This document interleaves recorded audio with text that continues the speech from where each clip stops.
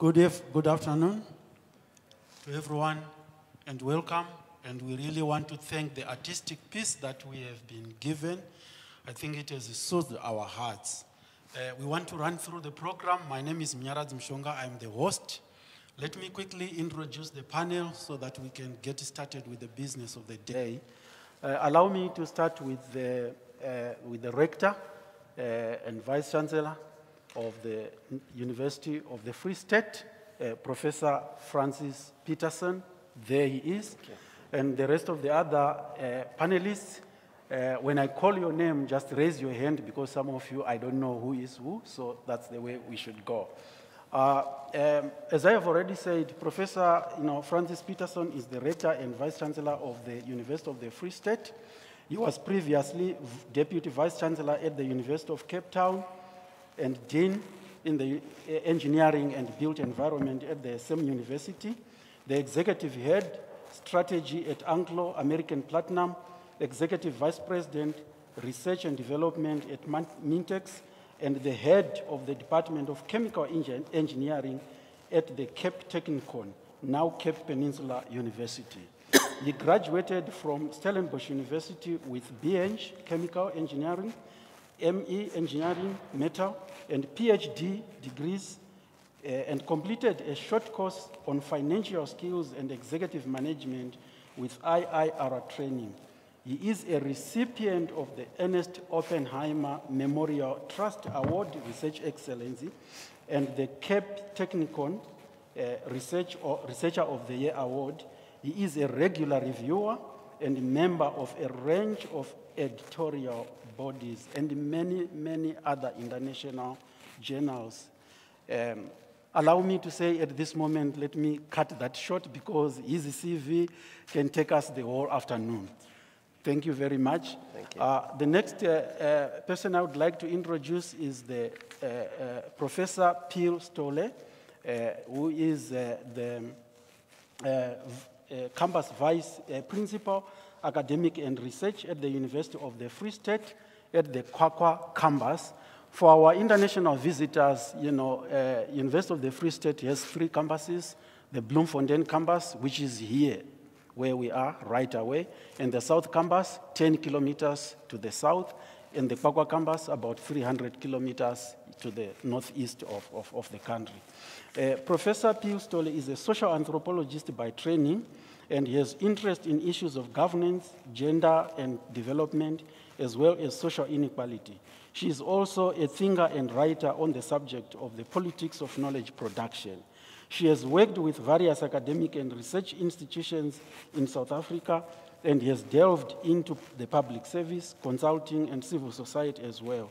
Her writings include a book titled Unequal Peers The Politics of Discourse Management in the Social Sciences, published in 2009, and a number of journal articles on governance and development and knowledge production, including the impact of the COVID 19 pandemic on, the develop, on developmentalism recently. In 2011, she was recognized by the South African Department of Science and Technology with a Women in Science Award for her sterling work as a social scientist. And more recently, in 2021, she was appointed by Pope Francis to the Pontifical Academy of the Social Sciences. Thank you, Prof. Sithole. There she is. My next panelist to introduce is our uh, uh, international visitor, who is Sandew Hira. Uh, that, is, that is his pen name. Otherwise, his real name is, you know, uh, Jew Babram. Jew Babram is uh, the secretary of the Decolonial International Network Foundation. He is the co-editor of a, of a book and the publisher of a book, Decolonizing the Mind. And he has recently published this book, which he launched on, uh, on Tuesday on our campus in the library, Decolonizing the Mind, a guide to decolonial theory and, and, and practice. He has over 25 publications, Uh, Jew was thrown into decolonial activism and Marxism following the execution of his brother in 1982 by the Suriname military regime. And since then, he has never stopped being a decolonial and activist thinker. And so we are privileged to, to have him to, to, to, to this afternoon. And so, Babu, thank you and welcome. And allow me to say, Babu Joe is with his wife, Sisha Bono, seated over there. Sisha, you are most welcome to the University of, of, of, of the Free State. Thank you. Uh, the next uh, person I would like to introduce to, to you uh, is um, uh, Sibanje Mabaso. Sibanje Mabaso, seated over, over there, uh, right now is, is uh, a master's student specializing in gender studies in the Center for Gender and Africa Studies at this university, at the University of the Free State. Uh, she is a multidisciplinary uh, theater maker, voice-over artist, and educator. And she is a recipient of the Katinga Haynes Award for the Best Film Student, as well as the Asia Grant Medical for Best Artistic Achievement in the Department of Drama and Theater Arts. Allow me to cut it short there. Thank you very much. And, and oh, over there, my apologies. I assumed everyone was here. so please, when I call your name, for just raise your raise your raise your hand so that the, the, the audience can can can see you. Uh, the next person I would like to introduce is Klokisani Mutlambiso. Thank you. Uh, Klokisani D. Mutlambiso is a final year education student at our beautiful university, you know, the University of the Free State on the Bloemfontein campus. He was born in the Western Cape and grew up in the Eastern Cape. He is a published poet and I don't want to go into his poetry work. It's so fantastic. So I want to leave you salivating for his work so that you can take it from there. Thank you very much and welcome. Uh, our next panelist is Absalom Ngosi. Uh,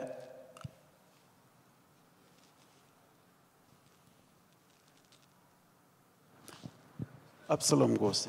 Uh, uh, sorry, sorry for the mix-up. I think the program has been updated, and I, I okay. So, so Absalom Ngosi, Dr. Ngosi Kangosi has been working in the music education fraternity for more than 14 years. He has completely occupied various you know, vacancies within the South African education system, including being a school music teacher, African music lecturer, and arts education teacher. He was previously employed by the University of Johannesburg, Department of Childhood Education, and the Northwest University, Department of Music. As a cultural administrator, he has experience and, uh, as an education officer, arts project manager, and even organizer, among many, many other attributes of him. Thank you very much and welcome, sir.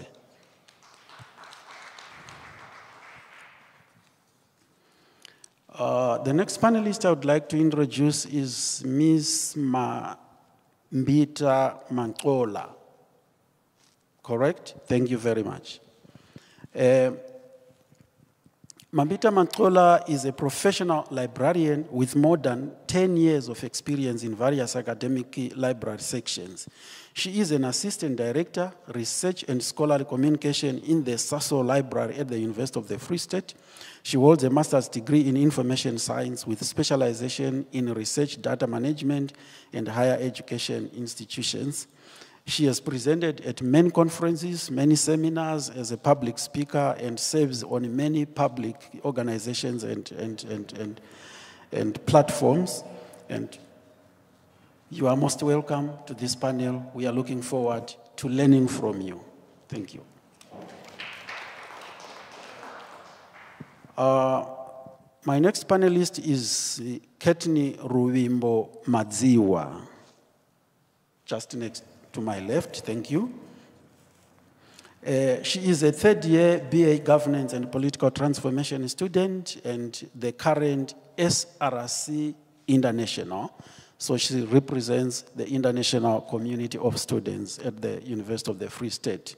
She has been, you know, in leadership positions since 2021 and has worked in various positions. She has been chairperson of the International Students Association, and she has accolades that depict her journey through and through, and a journey of struggle, journey of love, and many other attributes. She is an advocate of African transformation through globalization and youth empowerment, and has enabled, you know, to host many forums in that, in that, in that, in that, in that area. So you are most welcome. Thank you.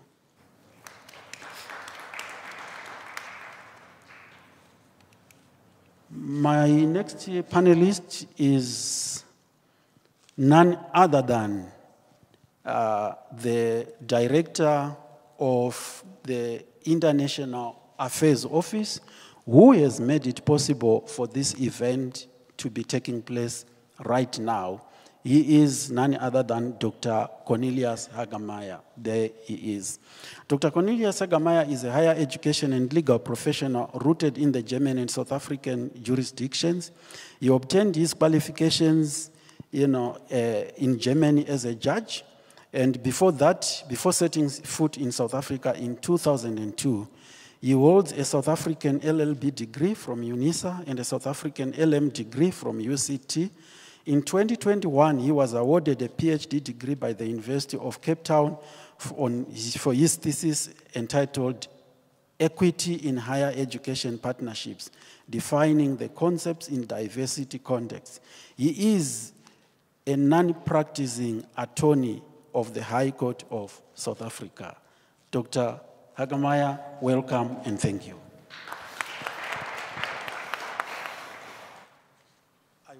I hope I have not, I hope I have not skipped anyone because I don't want to make that mistake before we get started. Anyone who needs my, to be introduced? I guess we are okay. Thank you very much. Um,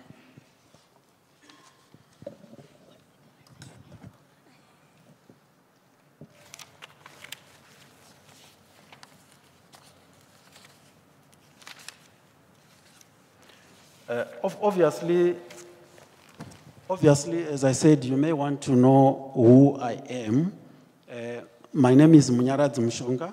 As I said, I am your host. I am program director for the Africa Studies in the Center for Gender and Africa Studies at the University of the Free State. Um, I am a historian by training, that's my background, and I'm also interested in post-colonial and, and, and decolonial discourses. So uh, that's who I am. So I think we want to move to the, to the, to the, to the next step of our program.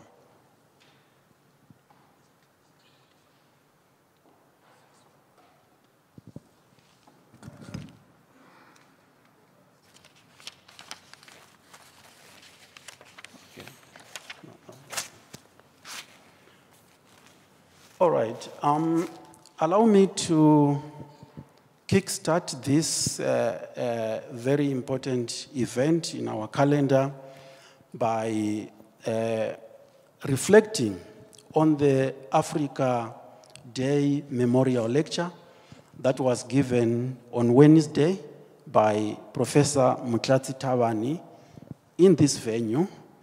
And the title of that lecture was Josias Philip Hoffman and Moshoeshoe the First, Friendship in the Search for Justice in the Mohokare Valley in the 19th century. So I'm just going to make reflections. I'm not going to summarize the lecture, otherwise we will be here the whole night. First, Professor Tawani emphasized that his lecture was a simple story of human relations, which was not loaded with any major meta-narratives. He chose a very difficult moment in the history of our region and in the history of human interactions in the 19th century, a moment that was characterized by animosities, suspicion, and enmity between two communities, Basotho on one hand, and a group of white settlers who had started arriving in the Mohokare Valley on the other hand. And they started to compete for land, that resource, which is the foundation of all human production and reproduction. As we all know, land is home to the living and to the non living. It is the source of water, it is the source of all minerals, it is the source of agriculture, it is the source of everything, and it is the source of life. So, who were these two leaders who became great friends? These were Murena, as I have already said, Moshoeshoe the first and Josiah Hoffman, both of whom were committed to peaceful coexistence. The two men went out of their way to maintain peace and to avoid war and conflict, even when there were enough grounds for peace, for war and conflict. These two men had unique personalities and were men of great standing. They loved peace. For instance, in 1840, Moshoeshoe told his people, I love only peace. And this was echoed by his best friend, Hoffman, who also told one British official that so long as Moshoeshoe lives, there will never be war. So it was love. It was the love for the paradigm of peace against the paradigm of war that made these two great friends. A friendship that was hated by the majority of white settlers who worked hard to sabotage that friendship. Professor Tawani concluded that it could have been this a personality amenable to moral persuasion and unwarlike that made Hoffman become friends with Moshoeshoe. So Professor Tawani challenged us through Moshoeshoe and Hoffman that it was possible and that it is possible, more so in our century, to shift from the paradigm of enmity and war into a paradigm of unity, friendship, peace, and love. The two men showed that it was possible to replace narcissistic love with decolonial love. And for me, the most important takeaway was that these two men represented people who were interested in peace and love for their people and for themselves. And that still those of us in the 21st century desire the same. So Moshoeshoe the first and Hoffman had the courage and wisdom to love and make peace under conditions that did not permit love and peace. But once Hoffman was impeached and forced to resign as president of the Free State in February 1855, eight months after being elected into office, all prospects of peace were removed. His impeachment was a major setback in the search for peaceful coexistence and prosperity for all in the region. So after 1855, the region entered a long period of conflict, war, animosity, and competition for resources, even leading to bloodshed, suffering. Thank God, the world bequeathed us again with two other men, Nelson Rolihlahla Mandela and F.W. de Klerk, who seemed to have followed into the footsteps of Hoffman and Moshoeshoe and worked hard to bring us peace in 1994. So, ladies and gentlemen, this is the message that I have for you from that lecture. And I think it is possible, under conditions that are difficult, to make peace and love. It is still possible because Mandela, de Klerk, Moshoeshoe the first, and Hoffman did it. Thank you very much.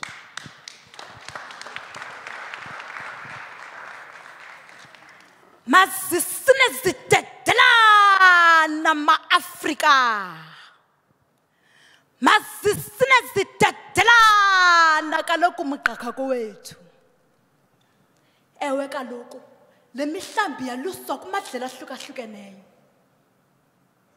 mandixhelele xhukwana ndixela ixhego lixako zingxaki zalo. Ndithi ndingugqubusha umajelo umphako omunokhathi umaga nosaba amawele ukuzala ugqotha nogqubusha abantwana bomthwakazi umfazi zobele nyanga ngaphesheya komfula ndizalwa yile ntombi kavundle ubhayi ukhetsha umlu ucamshonelo umeva mhlophe unyaka emnyama iqandi zizibi iwelele ngaphesheya unkonjela zintinge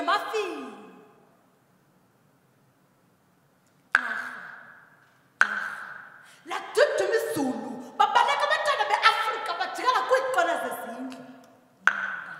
Neentsiba zabo sitsho xa sizingce ngesixhosa sethu thina mzontsundu thina mzikaphalo thina sizikulwana sikayintsa tsho ndakhumbula ngexesha lamandulo. Xesha elo sasingenalo gqirha ndithi ndisakubika ihlaba ndithi ndisakubika intloko. Athi umakhulu athi utamkhulu mzukulu yemba nakumhlonyana usele. Urhabu lapho ungafinci ushiyela amakhehle kuba kaloku lixesha lenkululeko. Ndithetha ngexesha lolwazi lwengqondo ulwazi lwemvelo. Abathi abelungu ngokuyibiza is an indigenous knowledge. Oh naniphi na? Ngexesha lamantombi enxiba inkciyo ehamba ezidla ngokuzithanda kuba kaloku ingqeqesho isuka ekhaya. Ndithetha ngexesha lamadoda abafana bebhinqithane bangakumbi bebhinqi nawe kuba kaloku isixhosa lulwimi lasekhaya. Oh mzontsundu ndithi masibuyele boma afrika masibuyele boma afrika. Nithe chu niqodomile ninyukile. Kwiimfundiso zasewest nisilibele iimfundiso zase nisilibele kaloku ngokwiimfundiso zomzikaphalo. Oh mzikaphalo laphana lilizwe nikhedamileyo nisendaguquka nazenza ikedama nto zingenabani? Apha amasiko enu ziphi izithethe zenu? Oh maqhawe nani maqhawekazi ndizawugida ndikhwele ndinyathele kuba kaloku eyakamkhozi yaziwa ngoomeza ndithini na? Ixesha likhuba lithengwa ngokubona. Unendlebe nje unetyala. Le yakoyelusa intombi isayokusela amanzi. Ndithi buyela emanzini ke xa nikuba waqhelile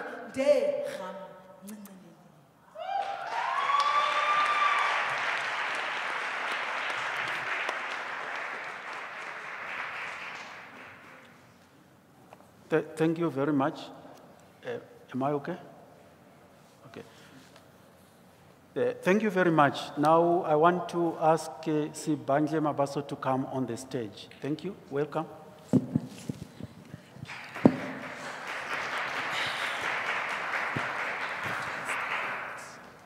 Should I just stand here? Okay. Stand by Dr. Mushonga. Good afternoon. Um, I will be presenting a thought piece on promoting and appreciating language in and from Africa.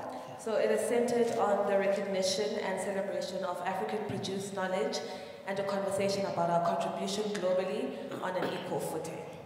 Right, so it's a bit lengthy, but please bear with me. Right. So, in the Tony Award winning Broadway musical The Color Purple, originally written as a novel by Alice Walker, the characters pay homage to Africa in a song titled African Homeland by expressing how they are happy in the center of the universe. These characters express in great detail the joy that they find in the anatomy of Africa, its shape, its form, its people, and the fruit of its soil. These characters see Africa and being African as an identity to which they are happy to subscribe. They show us a joy that we should all share, the joy of being happy and content in the center of our universe, Africa, and to invest and indulge in all that it has to offer. Our general ideas about African produced knowledge or indigenous knowledge systems are heavily influenced by Western indoctrination. As a result, Western thought presents itself as succeeding African knowledge as the only acceptable worldview, further dictating practices within Africa and the general way of life dating all the way back to colonialism. Thus, African knowledge finds itself playing second fiddle to other forms of epistemology and is thus perceived as being barbaric, as being mambo jumbo, or simply lacking intellect or reason. However, the reality is that Africa in itself has always been a self sufficient home that is rich in culture, resources, and most importantly, knowledge. In an article about African indigenous knowledge systems and relevance of higher education in South Africa, Hassan Kaya and Yona Seleti introduce a compelling perspective that helps to frame our communal and collective understanding of African knowledge and indigenous knowledge systems, as well as our misconceptions thereof. According to Kaya and Seleti, Nkondo argues that the Western perception of African indigenous knowledge as mere repetition of practices without any theory to explain them is a depiction of Western cultural and intellectual arrogance. In the perception of African scholars, a traditional healer who is able to cure a particular disease using specific herbs has the knowledge and theory of the plant species and their characteristics. Mazrui, another theorist, elaborates further the limited Western conceptualization of scholarship, education, and thus knowledge. That stresses that in order to be scholarly and scientific implies being free from external interference, especially community engagement and political demands. Further emphasizing the point that African knowledge and indigenous knowledge systems are self sufficient but have throughout history been built on foundations that juxtapose those that are true to African societies. Kaya and Seleti get to the root of the problem and propose that. The basic problem is that educational structures inherited from colonialism are based on cultural values different from those existing within African indigenous systems, or societies rather. The lack of relevance is perpetuated by the continued social, economic, and technological ties between African countries and their former colonizing powers. In brief, knowledge as perpetuated by the West has led to an incongruence and a deeply rooted invalidation of indigenous knowledge systems, as well as knowledge produced within Africa. So, what do we do?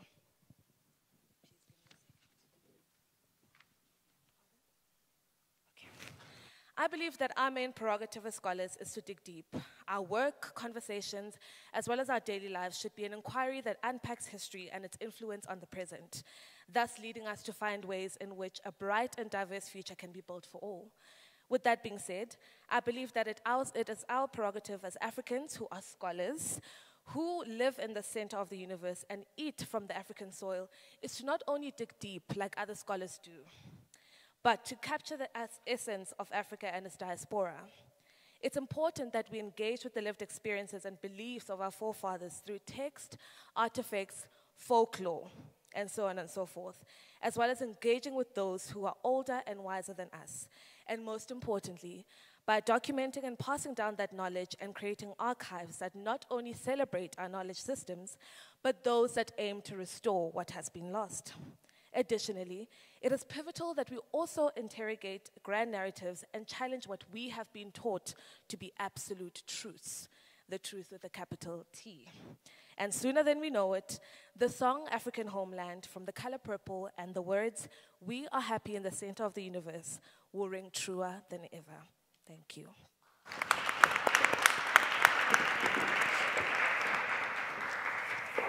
Thank you very much. Uh, Sibanja Maposo was actually preparing the waterbed and the seedbed for a very warm, warm welcome from the rector and vice chancellor of the University of the Free State, Professor Petersen. Okay. Thank you. Well, first of all, thank you very much, Program Director.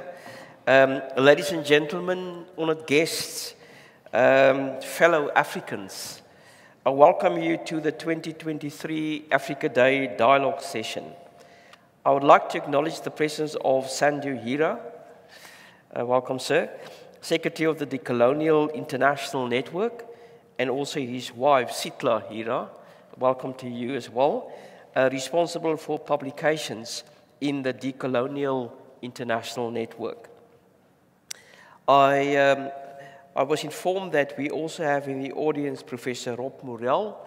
He's uh, from the University of Cape Town, Senior Research Fellow, and he's visiting our university as an external evaluator of the USDP uh, project in global health.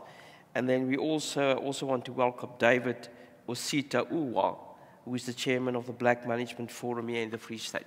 So welcome, welcome to you. I acknowledge the presence of uh, members of our university executive and other senior management, our staff, and our students.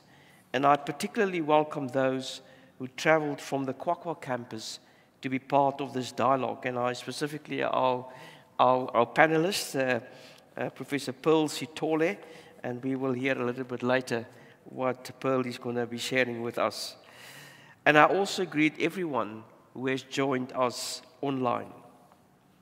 So this week, we are celebrating the 60th anniversary of the founding of the Organization of African Unity. So, across the continent, commemorations remind us of the African Union vision of an integrated, prosperous, and peaceful Africa, driven by its own citizens and representing a dynamic force in the global arena. The day reminds us of the Pan Africanist ideal in the quest for African unity. So, across the continent, many higher education institutions reflect on the progress made in working towards African unity. It has become part of the DNA of the University of the Free State to celebrate Africa Day, Africa Week, and Africa Month. This year, we have once again arranged a multitude of activities. The diverse and multifaceted events highlight our university's commitment to epistemic diversity, which is a central tenet of our university's strategy encapsulated in Vision 130. It emphasizes the value of diversity of ideas, of perspectives, and of methodological approaches. This is what we embrace and practice through our multifaceted Africa Month activities. And I want to say thank you for the organizers uh, of this event and all of the other events that happen uh, across our campus. Uh, I was um, lucky to, uh, to participate in some discussions at the University of, the, of Pretoria on Africa Day. Uh, so I flew in this morning. We had a whole discussion yesterday. And the focus on the Africa Day discussions there yesterday um, was on open science. Uh, um, and what it actually means for Africa. So we had about five vice chancellors and academics from across the UK and Europe. They participated with other vice chancellors locally. Also, the former vice chancellor from Pretoria, Cheryl de la Rey, flew in from New Zealand. So it was a, it was a fantastic deliberation of not only talk about Africa Day or Africa Month. In fact, Africa Day 25th is often been uh, uh, uh, rated as Africa Day, but it, it's a, it is about what does knowledge mean? Knowledge from Africa, knowledge within the global knowledge, and how do we challenge uh, different perspectives? How do we make sure that ultimately, when we talk about knowledge infusion, why is that important? It should always focus on social justice and should always focus to deal with the issues of inequality. If your knowledge integration, different perspective, epistemic engagement doesn't resolve that aspect, then I think we should ask the question why are we doing it? So it was the, the, the question was about not only collaboration and infusion, but about radical collaboration, radical infusion, and, and, and look at different open science, open resources, uh, open data uh, to make sure that the knowledge of Africa is embedded where it actually should be, But further than that, what is the knowledge of Africa supposed to be doing in the context of global knowledge? So that was, that was very, very interesting. So during this year's Africans commemoration here at the, at the university, we focus on promoting knowledge in and from Africa. The theme is central to what we want to deliver, what we want to see coming out uh, through our Vision 130, which includes a strong focus on strengthening our university as a contributor to the development of the African continent. But more than that, it is also to share what the continent has with the rest of the world. So, what I would like to challenge our academic project at the University of the Free State is that when we have Africa Months here next year again, I would like to have to cite about three or four examples where we have co-teaching, where some of our students were sitting in the same class as with students with other parts of the globe, taught by uh, uh, um, uh, academics from both our university and a university abroad, so that we start to make inroads in what we believe that knowledge sharing, that knowledge infusion should be about. But we had many inspiring engagement during this week. A multitude of commemorations organized by faculties, departments, centers, and also the Institutional Student Representative Council and other university stakeholders demonstrate our university's commitment to advancing Africa uni unity. Please allow me to mention a few highlights of the University of the Free State Africa Month. On Monday, Sandew Hira, uh, here sitting behind me, launched his book, Decolonizing the Mind. And, um, and I heard I'm going to get a copy later on, so that's probably uh, uh, for my reading at some point. And shared with us his approach towards decolonizing disciplines. Sandew shared his vision to make the transition from colonial universal world civilization to a new world civilization by decolonizing the mind and creating a new knowledge base that draws on old civilizations. We look forward to him sharing further reflections on this theoretical approach later today.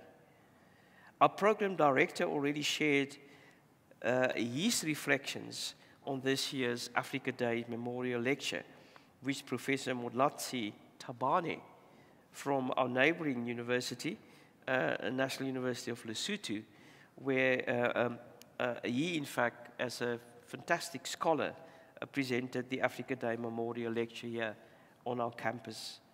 I appreciate that a scholar from the National University of Lesotho joined us. This is another expression of flourishing partnership between our higher education institutions.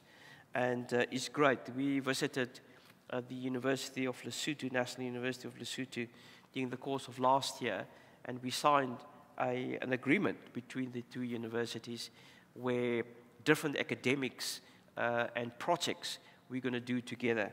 Uh, um, and uh, besides this particular lecture, the Africa Day Memorial Lecture, there is also going to be later on the Moshoeshoe lecture that we will probably also try to, to, to, to see whether we can partner. We have curated an Africa Month website to share our diverse activities, thought leaders, and artistic expression, engaging uh, with this year's theme. And last year, we discussed in the Africa Day Dialogue series, in this dialogue series, the contribution of African education to African unity. I remarked that Africans' knowledge should be infused and put on the same pedestal as what we would call global knowledge or knowledge from the North. This year's Africa Day dialogue picks up on this theme and takes the debate beyond education into knowledge generation. So today we will explore the theme promoting and appreciating knowledge in and from Africa through artistic expression and academic dialogue. And we already have seen some, some of the artistic expression uh, uh, um, and uh, I presume there's going to be, be going to be more of that. So, distinguished guests and colleagues, I hope that today's dialogue session will contribute to the quest for Africa unity and assist us in developing new ideas for promoting African knowledge globally. Thus, I hope that we will be able to work towards ensuring that knowledge in and from our continent, Africa, will take its rightful, prominent place in the world and ultimately to make the world a better place. Thank you.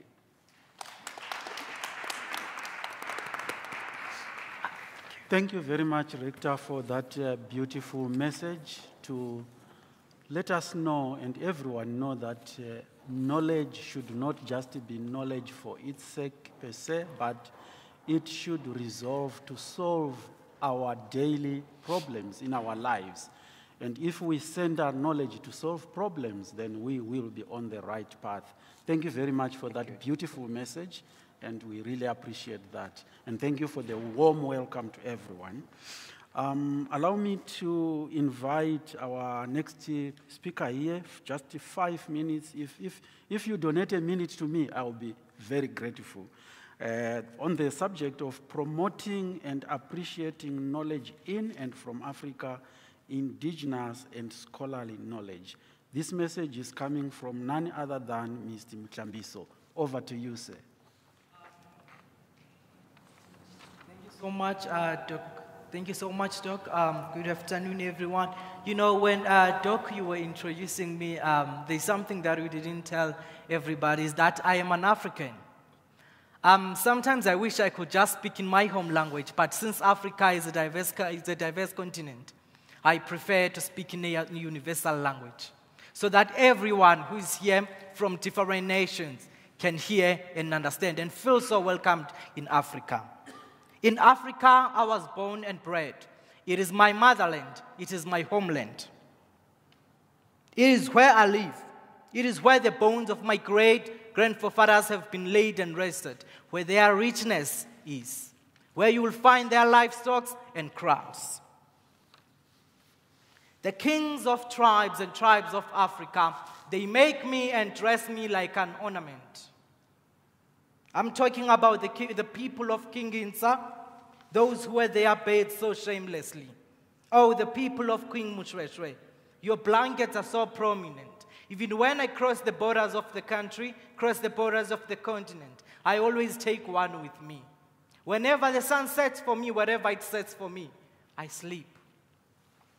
Oh, Zulu, Zulu yesabeka. Zulu, you are so fearful. When I land in Australia and in Europe, I wear your tiger skin and carry a sagila, and everybody starts shouting, He's an Africa. He's an African. He's from Africa. Sometimes I dance in the streets of Asia, and everybody starts shouting, African dance, African dance. Oh, teach me that one. I'm loving it. I'm an African. Africa, ikan Africana, Yum Africa. Good afternoon, everyone, once again. Talk, may you please do not cut me. I know maybe I will take more than five minutes. But mine is so brief, um, ladies and gentlemen, just to, um, before, uh, sometimes you suggest you have to first appreciate and promote as our theme today indigenous and scholarly knowledge. You know, each and every country, however, a continent in this context, prides itself in what it has, what it does or produces, ranging from its cultural customs, traditions, minerals, and other resources, or production that it has or can produce. And so does Africa.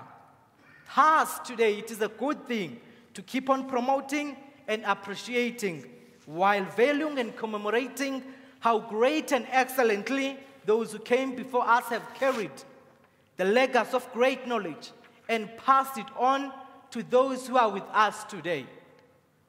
It is not a lie, ladies and gentlemen, nor hearsay, that Africa is not only rich in natural resources, but also rich in knowledge. In this context, I will say indigenous knowledge and practices that it has and contributes globally.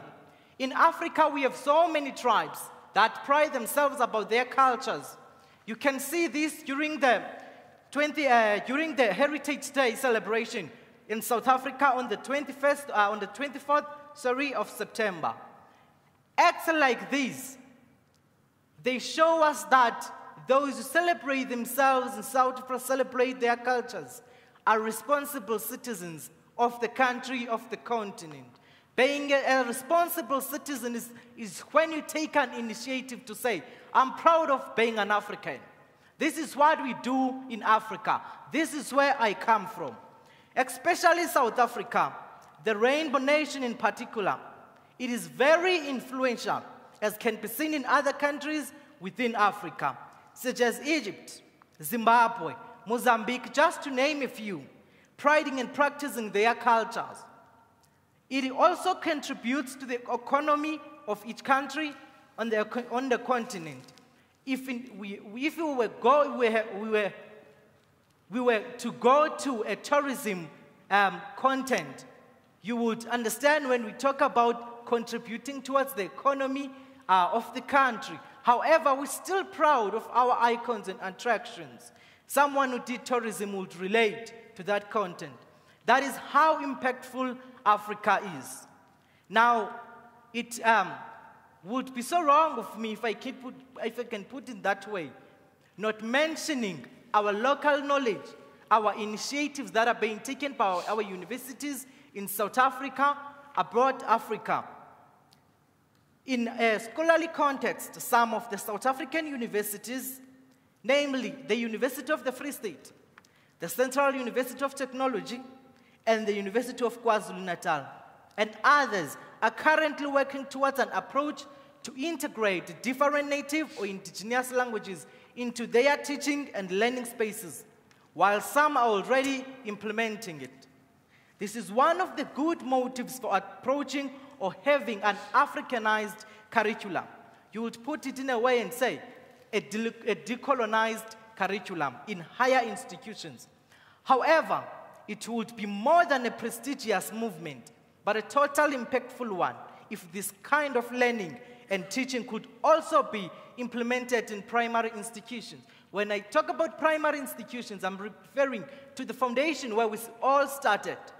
We started learning back in, the, uh, uh, in primary institutions in the basic uh, um, the department, uh, basic department of education. If, if, if these projects or these kinds of movements could also be implemented there, so that we can be able to close the gap between the higher institutions and the basic department.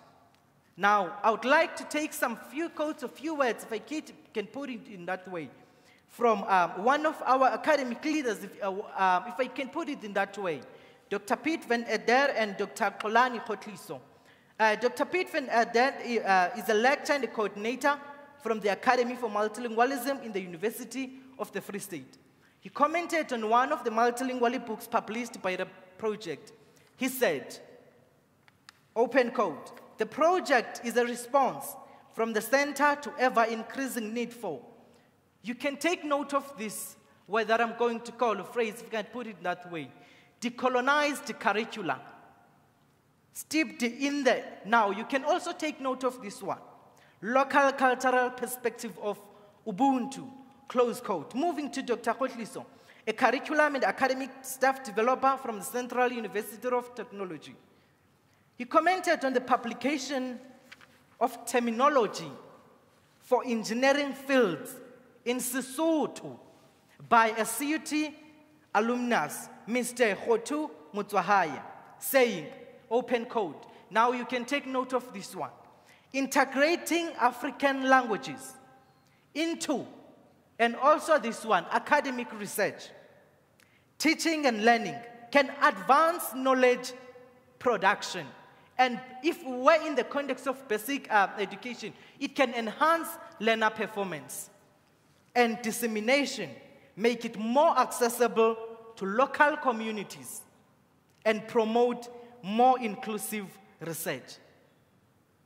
Close quote.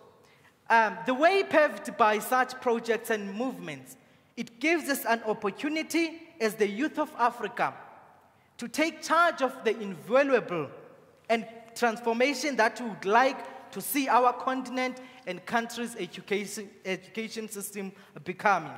They might be regarded as minor changes, but they are taking us one step closer to the Africa we are trying to build. Now, I'm about to conclude, Prof. I'm sorry for taking your time.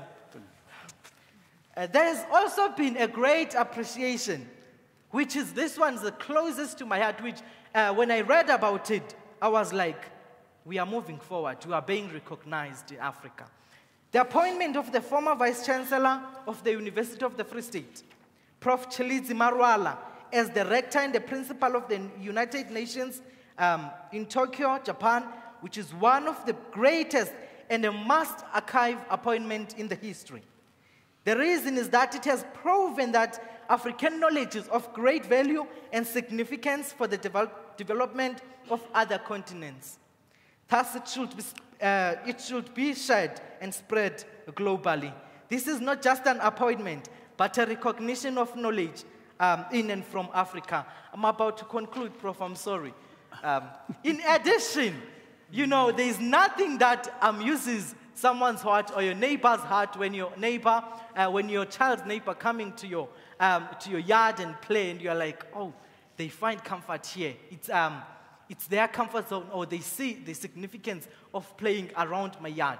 Now, in addition, seeing international students enrolling and furthering their studies in Africa is one of the convincing um, facts in this point that uh, Africa is not only rich in natural resources, but also rich in knowledge. Which, in, this point, I would advise that or suggest that let's indulge those come internationally, let's indulge, let's also indulge them to our indigenous languages.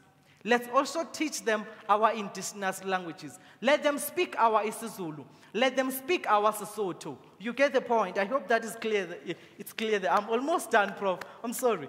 But also rich in knowledge, which has a huge, remarkable impact on other continents and their citizens. Now, the question is who would cross um, oceans to acquire knowledge that is common, not impactful?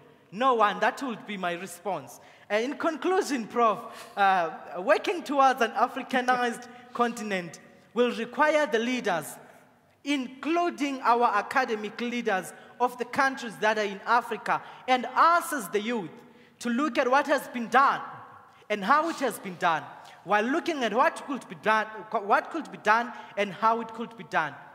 In Thank this you. context, Thank- you thank- say we thank are, you, de- Mashabiso. we are decolonizing, We we, have- are decolonizing our curriculum. I'm almost done, Prof. We have Q and A session, so we, you will send your message. Thank you very much. okay, thank you so much, Prof. Thank you very much. Thank you very much. We, we really appreciate your message, and uh, I, I, I am thrilled. Of course, you know, you, you took a bit of time, but I'm thrilled that you have a message to send to everyone. So that is very important. I'm happy for that. But to the rest of the panelists, if you see me standing up for the first time, I'm just saying one minute to go. If I stand up for the second time, I'm just saying to the technician, please, it's time. Right, thank you. We are moving on to the next speaker, who is Dr. Kangosi, uh, Dr. Nkosi. He has a beautiful message to share with us. The topic of his talk, five minutes on the dot, reads Indigenous Knowledge Systems and Heritage. Co- Oh, sorry, 15, sorry. Uh, 15 minutes, one five, sorry. Uh, indigenous knowledge systems and heritage contribution of South Africa to the world's creative economy industry and incorporation of indigenous epistemology in education. Please feed us. Good day, ladies and gentlemen. In this presentation, I'll be appreciating the contribution of South African cultural and creative industry on the world stages and highlighting the influence of indigenous knowledge system therein. Furthermore, I will be advocating for the importance of inclusion of some indigenous knowledge system in the education system. Indigenous knowledge system in Africa is and was still embedded in the daily lives and, and the worldview of indigenous Africans as opposed to scholarly based learning. Therefore, knowledge is shared via languages, idioms, performing arts, spiritual practices, rites of passage, cultural celebration, and recreational activities. The understanding and definition of knowledge to me as an African is based on the African epistemology passed to us by our ancestors from generation to generation. Unfortunately, coloniality and so called Western civilization, Western understanding of science within the framework of global knowledge in all spheres and fraternities, from the basic education schooling system right up to the academic research sphere. An advocate and research expert on decoloniality in post colonial studies by the name of Prof. Ramon Grosfoguel uh, refers to this unfortunate destruction and ignoring, and ignoring other knowledge systems of the world as epistemic genocide. The school science curriculum content will, for example, teach African learners that there are eight planets Mercury, Venus, Earth, Mars, Jupiter, Saturn, Uranus, and Neptune, of which, by the way, they are named after Greek and Roman gods and goddesses. In contrary, they never teach them that, according to African indigenous knowledge systems, we believe in three different spaces. We have Umhlaba, Earth or world of the living umkati, a spiritual world where the spirits reside, and ngaphansi komhlaba, underneath the earth, the ancestral world. Therefore, there is a gap for African indigenous astronomy knowledge. To further give an example, most schools they indirectly indoctrinate African children with Christianity and expose them to other religions such as Islam and Judaism, etc., but they do not tell them about African spirituality. For an example, they would not teach them about, they will teach them about Jesus Christ and his disciples and never about the African indigenous deities, gods, and goddesses, such as Queen Mutlalipula, who's the Pedi Rain Queen, and Umvelingangi, the supreme deity, the creator of all things on earth. In an academic publishing world, it is very difficult to reference a traditional healer, for instance, or Isanusi, which is the highest ranking prophet in an African indigenous system like the late Ubabu Credo Mutwa or your elders as your source, simply because the academics don't know them as academics or researcher. Therefore, they do not value their knowledge contribution and categorize it under unsigned, unscientific, whilst they mean that they do not acknowledge other ways of knowing except the Western classification of scientific. They snap the fact that indigenous knowledge system is also based on spiritual visions and ancestral knowledge passed down by our elders to the youth. Even though there are deliberate transformation agendas and programs, there are still a few stubborn roots that refuse to be pulled out of their comfort zone. A personal example in the year 2022, I got a complaint from some students that I am focusing too much on African based education approaches, which they felt it is redundant. I interpreted that as the refusal of decolonizing the curriculum, which I figuratively refer to as singing transformative, inclusive melody without rhythm. Rites of passages, rites of passages sites in indigenous knowledge system are educational cultural learning spaces where knowledge about the history and the genealogy of your clan is taught. For example, you learn about your people's tribe traditions, migration history, kings and chiefs of your clans, your related surnames, and your totems. All this historical education is done through clan praise names. We learn artistically and through songs and praise poetry, which are referred to as creative performance based learning. This cultural history is uh, this cultural history is missing in our school history curriculum and could be said that it is an oral story that has not been written down and can't be referenced. However, we should ask ourselves as African if the term illiterate and unscientific knowledge is what we should accept when a non African indigenous people label our cultural heritage and indigenous knowledge systems. Is promotion and preservation only done through documentation? I ask myself. I think one of the indigenous knowledge heritages that we should promote and put out there into the world stage is that we are a creative and uh, performing based education system that teaches us about our clan names, heritage, history. For an example, in the Nkosi clan, you would say Nkosi, Dlamini wena wokunene wena oluhlanga lokwangwane hlubi lomuhle emlangeni hlubula dledle sikalobamba lesithi sibadlubula sibe sibadlubulisa wena waqeda olubombo ngokuhlahlatela Basically, this tells you that the Nkosis migrated from the north and they used the Lubombo River, and they were, they're, they're descendants, of, descendants of the royalty, and they settled in Swaziland, which their capital city is Lobamba. It is therefore very important that we as young and young youth and young academics must influence education policies through advocacy and critical engagement with the relevant gatekeepers in both basic schooling and tertiary level to transform the curriculum and to sincerely incorporate indigenous knowledge systems. We should first clean our house before we invite guests to come to appreciate it. For Africa to be respected and- appreciated by the world, we need to affirm and instill self confidence and celebrate what makes us African and unique. As an African idiom says, let's go back to our, to, our, to our roots or to our indigenous ancestral ways. We should not shy away from our African indigenous practices, beliefs, and knowledge. If we fail to do so, we will always be taken as a step human of the world who mimic and are gatekeepers of Western knowledge system. It's a it's a cause expression that translates to your inheritance is being stolen from you.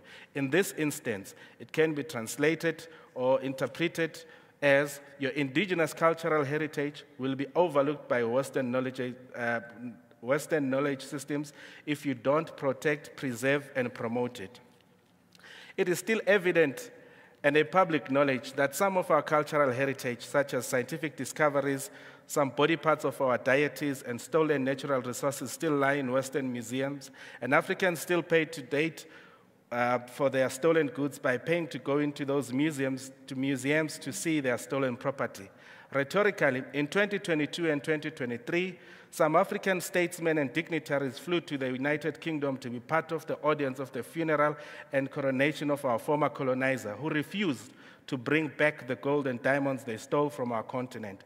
I'm wondering whether there will be ever a similar delegation that would be sent to the former colonizers to negotiate for the repatriation of African indigenous cultural heritage, heritage including our minerals. Mining has always been part of indigenous industrial knowledge system. Our ancestors refined gold and diamond and decorated their royalties. The economic value of those precious African indigenous minerals brings to the world should be known and appreciated by the world. It is also part of the knowledge that our future generation must be aware of that we had African indigenous mining skills and knew the value of those minerals before the colonizers came and claimed that they discovered it and used their high tech machinery to exploit it. It does not make sense to me that the world deems us uh, as the country or the continent which is poor and should be given loans by the International Monetary Fund, instead of telling the world to repay us for what, uh, what it has been stolen from us and acknowledging us as an economic powerhouse that enables the global economy to go around. Reparations are long overdue for what the world has stolen and took from Africa. Our vast, distinct, our vast, distinct cultural, creative, and performing arts excellence has seen African musicians competing in the world performing stages and brought gold trophies back to Africa. That proves the fact that gold belongs to us naturally. This, is demo- this demonstrated competency and showed off the exceptional artistic skills that we possess as indigenous Africans. The likes of the contemporary Stratamia music, whereby the Ladysmith Black Mambazo have won five Grammys since 1986. In house music, where we have Zakes Bantwini and Black Coffee, who won the Grammys in 2022. Nduduzo Makhathini, the South African Afro jazz pianist, first black and only South African who signed a record label with Blue Note Production, which is a home of legends such as John Coltrane and the Thelonious Monk. Pretty Yende sang in Coronation of Prince Charles 2023. This knowledge should be shared and celebrated within our continent and beyond. We should celebrate the achievements and contribution of our cultural and creative industry to the global creative economy. The knowledge of communicating with our ancestors through music is one of the things that we, the world should know about us. Our arts are not only for entertainment, but that some of them are sacred and spiritual. Hence, they should be respected and not be filmed and televised without the consent of the indigenous people. There are documentaries and research material on African spiritual music or arts which were done during colonial times, which disrespect African culture and have been done unethically. They were recorded without the knowledge of owners and are being turned into financial benefit for others. Those should also be brought back home, reclaimed from the museums and libraries and archives. We also must make sure that we register the correct intellectual property rights to them and should benefit the original creators of the content. Our indigenous knowledge system of architecture, science, and mathematics are of the highest standard, and no other knowledge has tried to copy them or surpass their scientific configurations and mathematical formulas. The Egyptian pyramids have been, have been built by hand and remain standing for centuries. The underground temples of Ethiopia have been built using indigenous knowledge system of architecture. The Ndebele artwork of Gogo Esther Mahlangu is not only about the colors, but demonstrate high skill levels of mathematics, geometry, soft science skills of indigenous African communicative visual arts. Mahlangu never went to school to be trained. As an artist, she learned from the elders. Excellence in arts education has always existed in indigenous knowledge systems. The magnificent sculptures of Pitigarantuli and the poetic sculptures of Gogo Noria Mabasa further demonstrate that our knowledge of science, technology, engineering, arts, and mathematics has been integrated when it comes to indigenous knowledge systems based education. Our ancestors have always practiced the concept of STEAM pedagogy approach in education. STEAM pedagogy means or stands for science, technology, engineering, arts, and mathematics. Dr. Mabasa was never taught the arts in school. She says she gets her ideas and concepts through ancestral revelation and dreams. Our ancestors are artistic. Our ancestors are artistic and communicate with us through the arts. The world should know about that. In conclusion, as you know, isiXhosa Thank you. Right. Thank you very much, Dr. Dr. Songaniso Kangosi. We really appreciate the zeal and the message. And I think the message is, the theme is coming through, the importance of knowledge in and from Africa, starting with, you know, our brother there. And so we really appreciate that. Now we want to hear from our external visitor, Sandew Hira, to tell us about the importance of being creators of knowledge in and from Africa. Over to you, Sandu. Thank you, Munya. Thank you, Professor Petersen and the UFS community for inviting me. It's an honor to be here.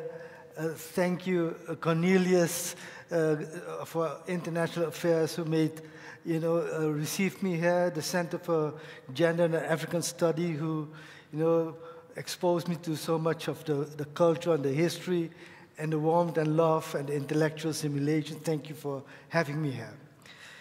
Um, the challenge for uh, knowledge creation in Africa, you could understand the challenge if you put it in an international context and see that what is discussed here about the relevance of African knowledge is discussed in India about the relevance of Indian knowledge.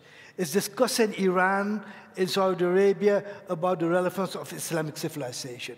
It's discussed in China about the resurgence of Confucianism. So these discussions has to do with the big challenge of the European Enlightenment that have discarded knowledge from other civilization as being uh, uh, uh, irrelevant, inferior to European knowledge. And if now you want to articulate a response to the European knowledge production, then you should take into account that you are articulating a response to the policies that comes from that knowledge. So you can't discuss knowledge production without discussing the political and policy implications of knowledge production. Now you have two strategies, in my opinion, of how to deal with these challenges.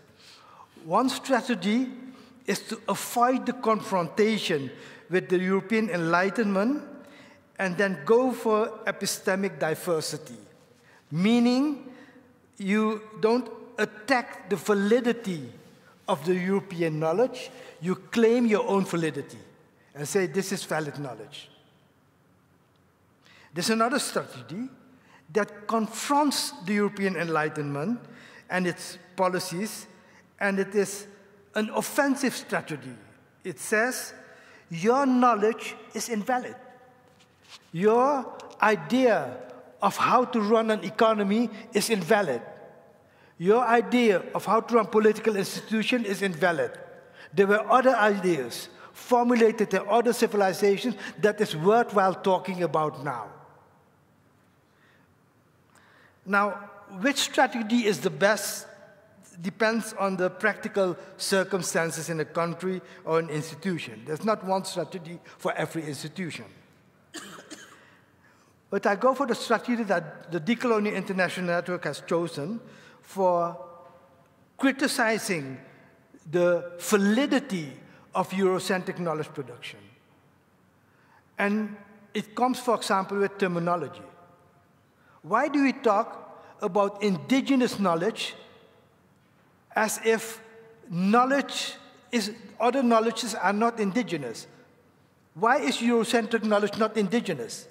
Eurocentric knowledge is the knowledge of Europe, it's indigenous knowledge. So my, my point of view is that using terms as indigenous knowledge gives you the idea as if, as if it's different kind of knowledge than the standard knowledge. So, in order to be able to elevate African knowledge, Indian knowledge, uh, knowledge of Abya Latin America term that the indigenous people in Latin America use for, for their continent, in order to go there, we need to move from general notions about decolonial theory, decoloniality, African knowledge. Uh, uh, we need to move from those general things to the specifics. We need to move to the disciplines and say, what is an African theory of economics? Because that theory will tell us what policies follows from that African theory of economics. What is an African uh, Islamic theory, social theory, of how to look at the construction of society and society, social relations with nature? If you don't succeed in making that transition, your students will tell you, What are you teaching me? Some generality, but what can I do it practically with it? We need practical tools from theory in order to make theory relevant. And here's the thing it is perfectly possible. And I'll give you a few examples. Take the basis of knowledge, epistemology, the theory of knowledge, logic. If you take, for example, the, the basis of logic in Europe, in Eurocentric knowledge, is the logic of Aristotle, formal logic. That logic tells you that, that A is A, Columbus is Columbus, uh, uh, uh, Columbus is not a dog. There's a, there's a system there, right? In the one, one philosopher, um, Victor Ocaya, studied the language of the Acholi people of southern Sudan and saw how in that language the logic of Aristotle didn't apply. Because in that language, they have, for example, uh, uh, uh, uh the idea uh, it is hot, it is not hot, and these are the two exclusive things. But the language of things, there's something that is hot and not hot, is rather hot. That type of logic, Ocaya argues, resembles the logic of Jainism in India, which says the outcome of logic is not true and false only, like in the Aristotelian logic, but has seven values. You can be dead, you can be alive, and you can be dead and alive. How can you be dead and alive? If your heart stopped beating, but your brain is thing is still functioning, you could do reanimation, and then suddenly you, you have you can be dead and alive. Malik Badri in Sudan questioned social theory and says the way social theory in the West looked at human beings is like social objects, meaning like the natural sciences studies natural object, the social sciences the social object. So human beings are reduced in object. It's dehumanization. If you do that, what happens? The person studying that object is divorced from the object, while the object is human being and claims the position of objectivity. Social sciences are objective. So he, he goes into the discussion with Max Weber, who purported in sociology that, uh, uh, that social sciences should be objective. So this is African knowledge on a discipline. Oyewumi Oyeronke questions the theory of gender. And she argues gender is based on the concept of the relationship between men and women. What if in a language like the Yoruba language, there's no term for men and women, for father and mother, for daughter and son? What if that is the case? Where does gender theory leave us? Take mathematics, which you think might not be able to decolonize. In mathematics, you can see a difference between mathematics that have evolved in Europe and mathematics that have evolved outside of Europe. The difference is that in Europe, they developed the system of axioms. Axioms are propositions without proof. So you re rebuild a, a, a system without proof, you can create fantasies, and if you do that, you can get st strange things.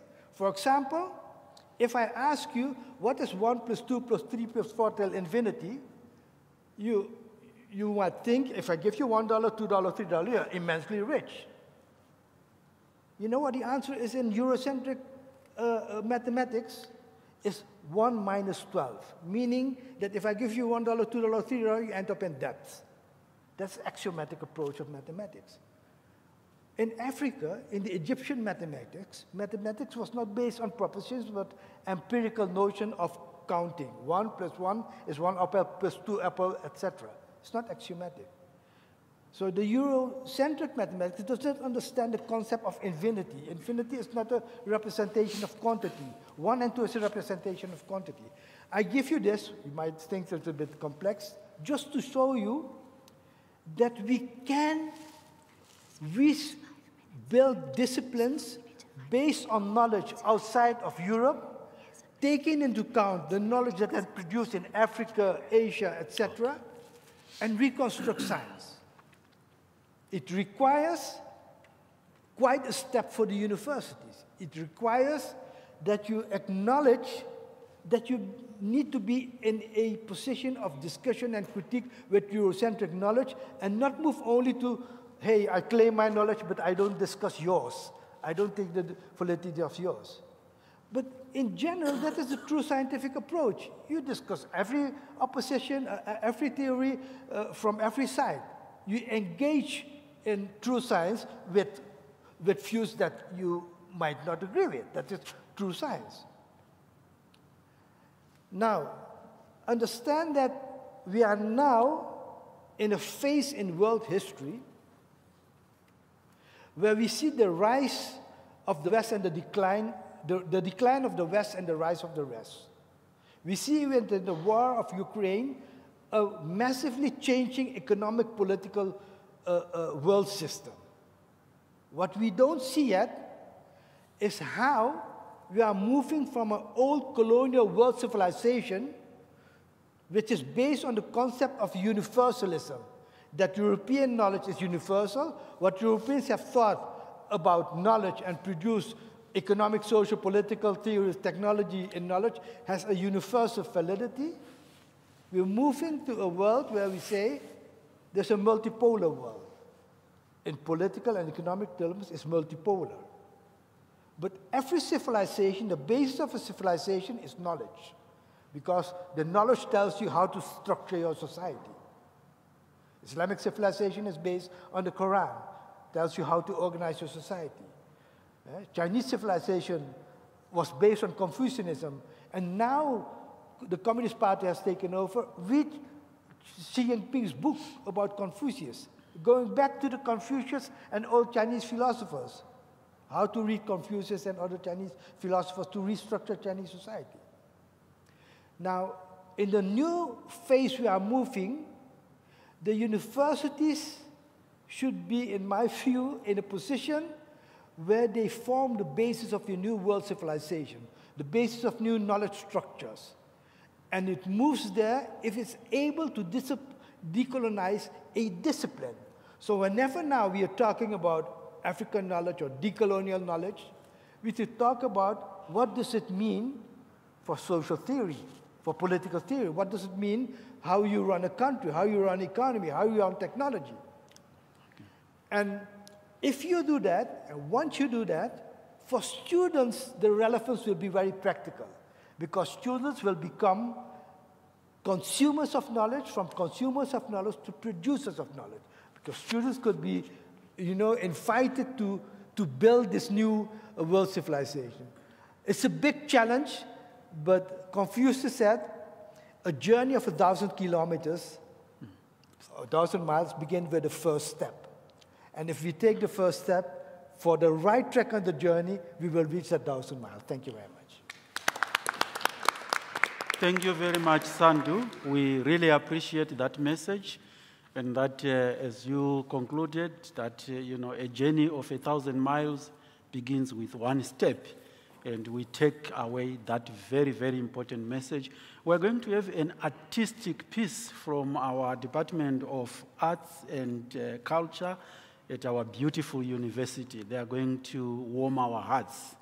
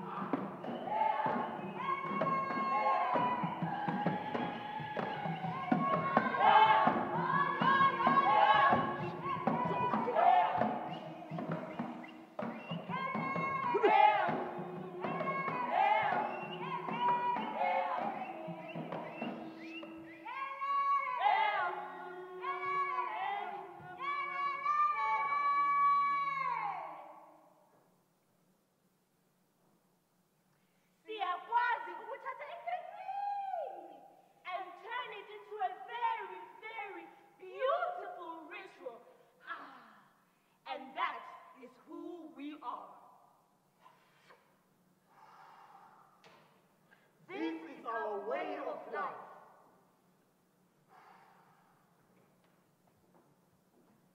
From generation To generation, fire is the primary of our daily life it lives within us. and it signifies life.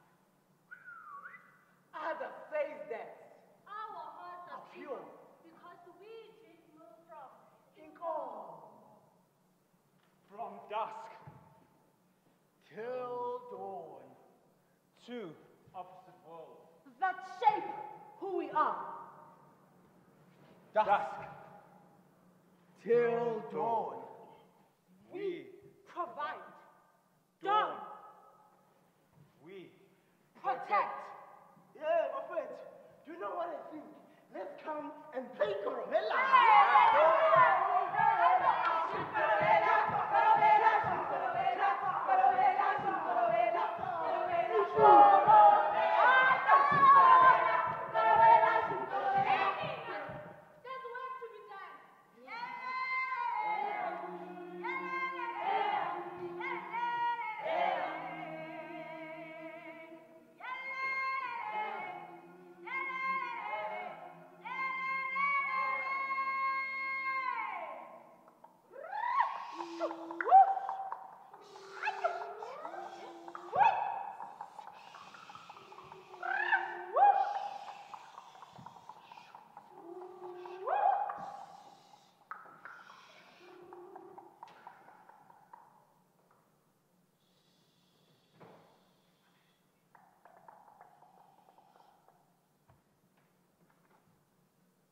when the sun sets.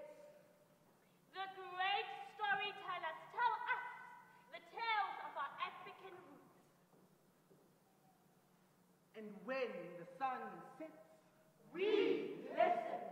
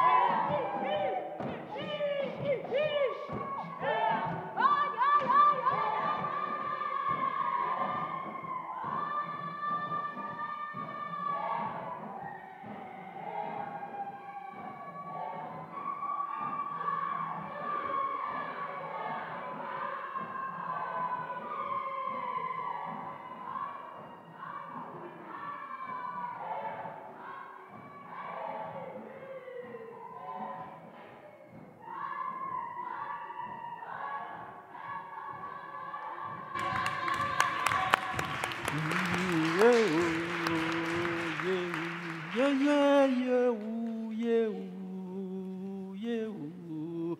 Wow, thank you very much. We really appreciate that. Africa from north to east, from west to west, from south to south, from east of east, west of west, north of north. That's how beautiful our continent is. So rich, artistic music, artistic storytelling, telling the African story.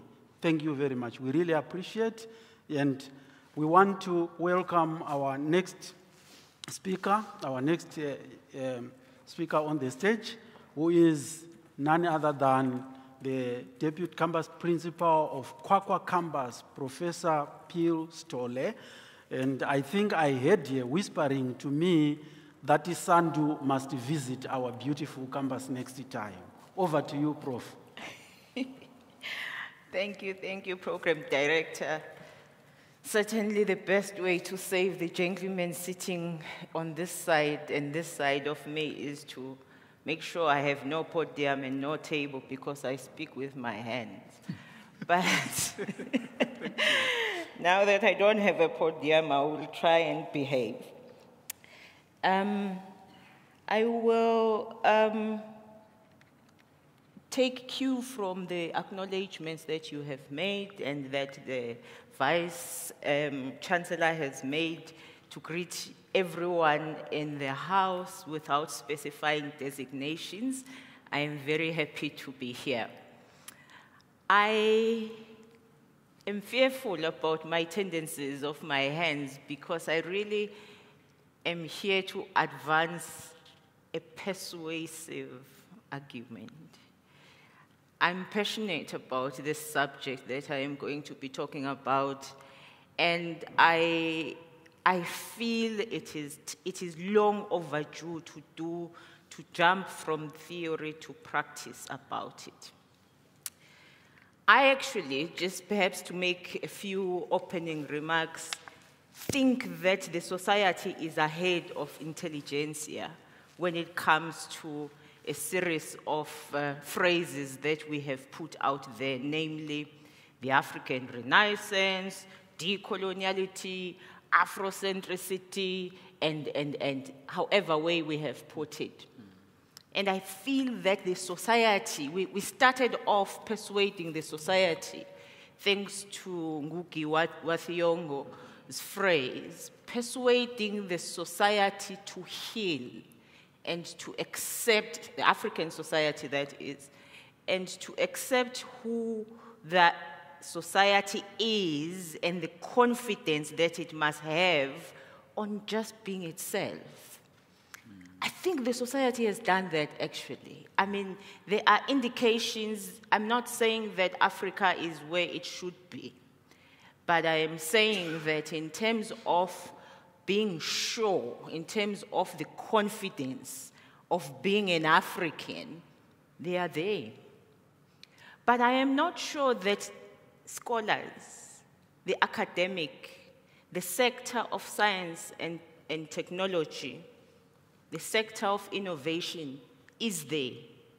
And in fact, I would venture to accuse this particular sector of taking the society a few steps back and pulling it backwards a little bit instead of taking it forward. And I just want to substantiate this argument, not because I want to damn our work, but hopefully by the end of this accusation, to be able to say there are spaces where we definitely need to zoom into and and identify them as niche to correct and to contribute to pushing a society that has worked so hard forward.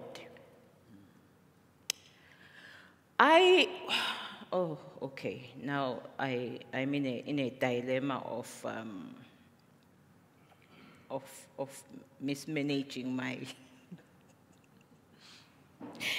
my, my script but I will be proceeding as I try to find it. Yeah, sure. I wanted to say, uh, Vice Chancellor, that the work of Dr. Hagenmeier next to me here has led us to believe that we've started on the journey that you were pining for at UP. We have, in the recent months, maybe even years, been receiving guests who have been saying things to us, and we have been listening very carefully to what it is that they are offering. Some of them haven't impressed us in the sense that they have come to say that we are about this and you can learn from us, which is fine. We, we are humble enough to learn. but there is nothing that actually says that we are partners in that particular setting. But one very interesting character, if I may call him that, came last year. I won't mention the, the, the country or, or, or the name, but he was a, an education attaché of that country. And he said to us, um, uh, when he visited Qwaqwa at least, I am here to talk to you about proposals that we can have in terms of a partnership. And since I have come here, particularly on a time when after COVID and we have all been experimenting and learning about how to do education virtually, I'm actually proposing that we do more, we take advantage of this experience and do most interaction equally in these platforms. Not only will this save us, but it will ensure better mileage in terms of the consistent interaction. Of course, we went to a whole discussion about what elements will be lost and how we can supplement this mainly virtual um, interaction. But the cut and long and, uh, story short, he eventually said to us at the when we were interacting with him, I'm really doing this to try and boost the image of my country, which he mentioned by name, within the geopolitical space of knowledge, because we think we have a lot to offer through knowledge. A kind of frankness that amazed me. And we had some discussions about this, especially over mm. dinner. It was the first time that I had this kind of engagement acknowledge the self centered interest of that particular stakeholder. That he wants to boost the image of his country in the geopolitics of knowledge. In fact, I took him to task about this and I said, Do you think that your country will be happy to have heard this particular statement? And he said, Yes, I think it is overdue that we are, we somewhat approach the terrain where our stakes are on the table. I am just mentioning this because I think that we have been agendaless.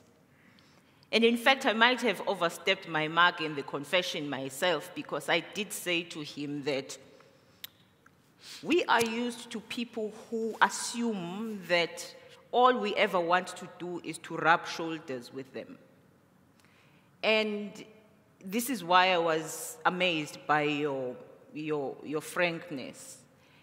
And in fact, I do think that many institutions come from that vulnerable stance of wanting to rub shoulders, not to rock the boat in case there is funding, and, and, and, and we, we've got to be careful around relationships and not to be misunderstood when we are trying to challenge other stakeholders to communicate and deal with them on an equal footing. So I think that the first issue that we need to deal with is whether we have an agenda in the first place. Now, I know and appreciate the work that you were summarizing, I wasn't certainly at that particular lecture, and all of the other work that suggests that we have got to be so careful as to uh, possibly um, be careful around relationships and preserving the peace, as well as being careful in the sense of trying to see where, how do we contribute to what is assumed to be generic knowledge. But at the same time, I see everyone as having an agenda, mm. but us. Mm.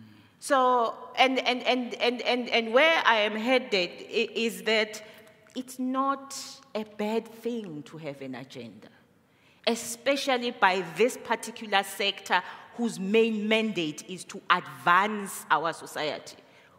We are done with confidence, we are there. That's what the artistic um, uh, story shows us. That's what the appointments of kings and queens and all is, is, is, is, is showing us. But we need to ask ourselves what agenda do we have as Africa in the knowledge space to advance this particular continent? And so, Chair, I just want to briefly, uh, please, for me, uh, stand up at three minutes because there are important things that I need to do at the end. I'll whisk through them. But I wanted to say that there has been amazing work that has brought us into this confidence at the periphery. And this, the space of the periphery, the space of informality, is actually where we are at. We've, we're almost comfortable there to a point where when the society gave up on us in the manner in which we handled COVID, they went on and on in the social media sharing informality that will help them. And they were helped. They assisted each other because there was a particular view that says that these people, the intelligentsia, can take us up to this far. We need to help ourselves. We can't be like that. We would be a waste if we continued in that space without an agenda that favors Africa.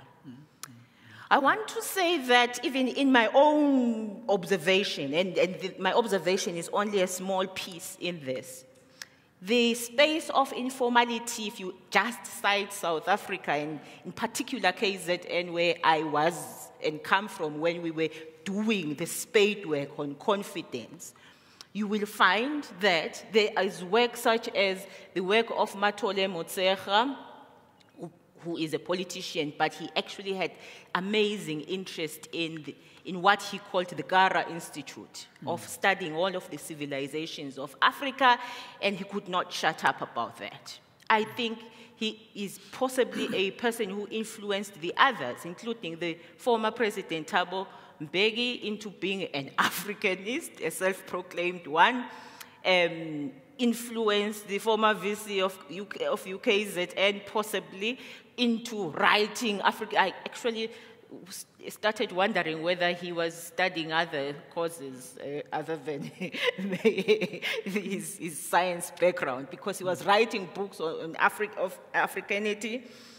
I was happy to see the Rhodes Must Fall, contrary to what people might believe, and in particular the the courage by Sbo Qwabe and crew in the UK to take it up there. Today we can even point to some inklings of repatriation of heritage by some of those universities there to countries like Berlin. It was after they ventured to do that.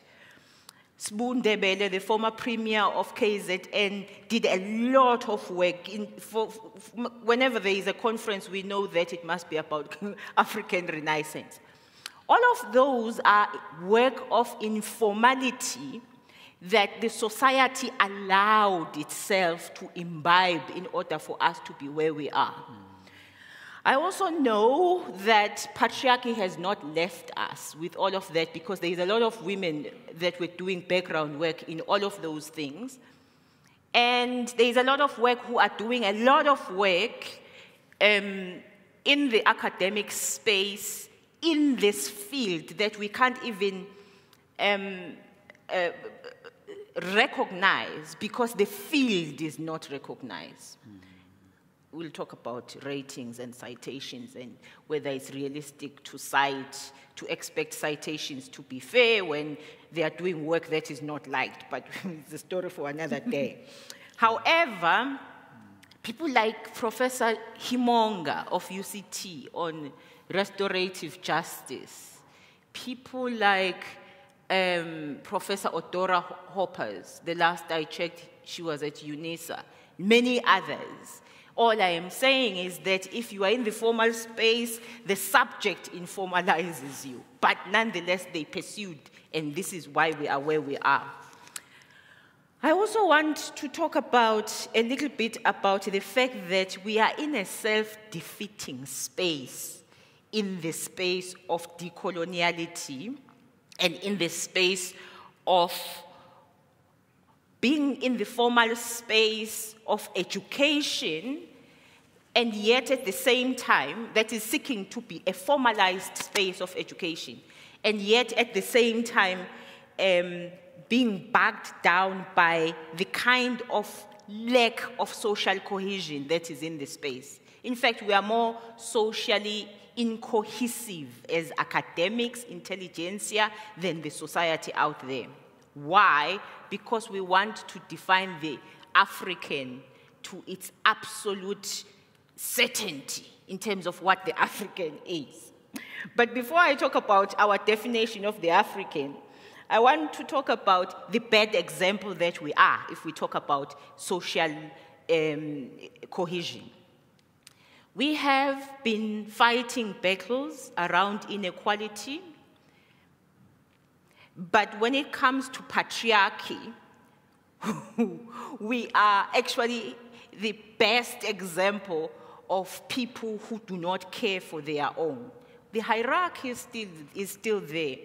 Um, if, you, if you look at the, the, the, the units or the authorities that monitor us, whether it is DHET reports or it is NASA monitoring the issues around innovation, the black woman is always at the bottom. The black man is next, the white woman is next, and the old hierarchy exists. Now, how have we, in the field that speaks social justice, that speaks all forms of scientific fairness, been able to maintain this and live with it consistently the way that we have? How? How is it possible that we're not drinking our own medicine? We are also um, lacking in terms of, um, of, of social cohesion in the manner in which we handle our diplomacy.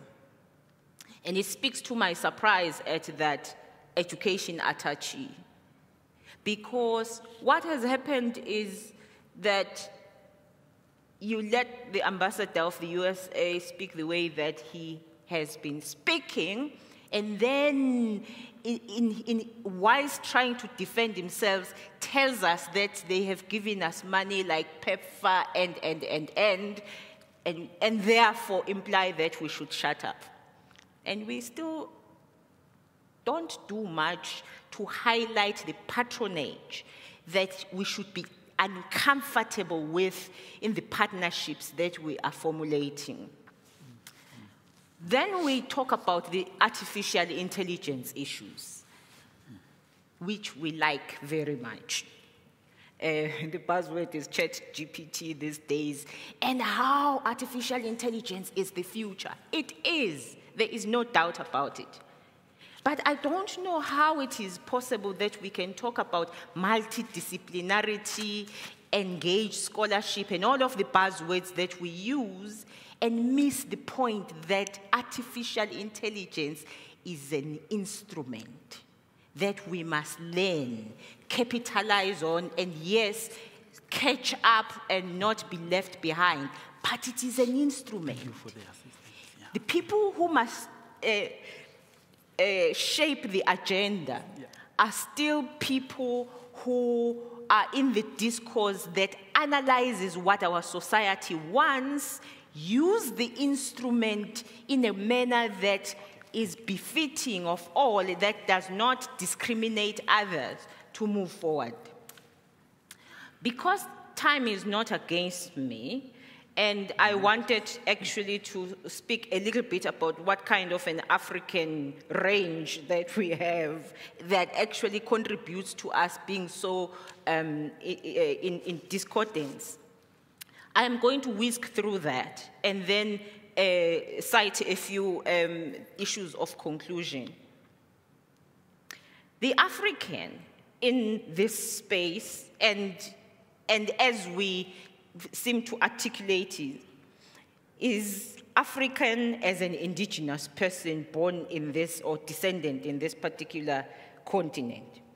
There's also an African that is born here, but is a proud European diaspora. There is also an African that is born here and is loyal to Africa. Then there is an African that is self identifying as an African, but they would rather be elsewhere, actually. And then there is an African that goes around claiming benefits of Pan Africanism as and when it suits them, or even Pan Humanism for that matter. And there's a whole range of other definitions. But the point around this is that actually we are self defeating by wanting to define or sometimes not even being aware of who these various versions of Africanness are loyal to. And so, these are uh, these people that we call markets, there are these people that we call partners, and then there are these people that we call researchers who have a propensity of making us data, who have a propensity of making us consumers of what is produced elsewhere. All of them in this milieu of Africanness as well. It is really confusing in terms of the agenda or even of being able to formulate an agenda. I just want to wrap quickly, Chair, without necessarily dwelling on some of these things, but I just want to say, first, that we are in some kind of hangover phase where we have a, a, a, colonial ego that's lingering and we are not actually quite sure what it is doing. It's lingering amongst us as us, it's lingering amongst us as some partners.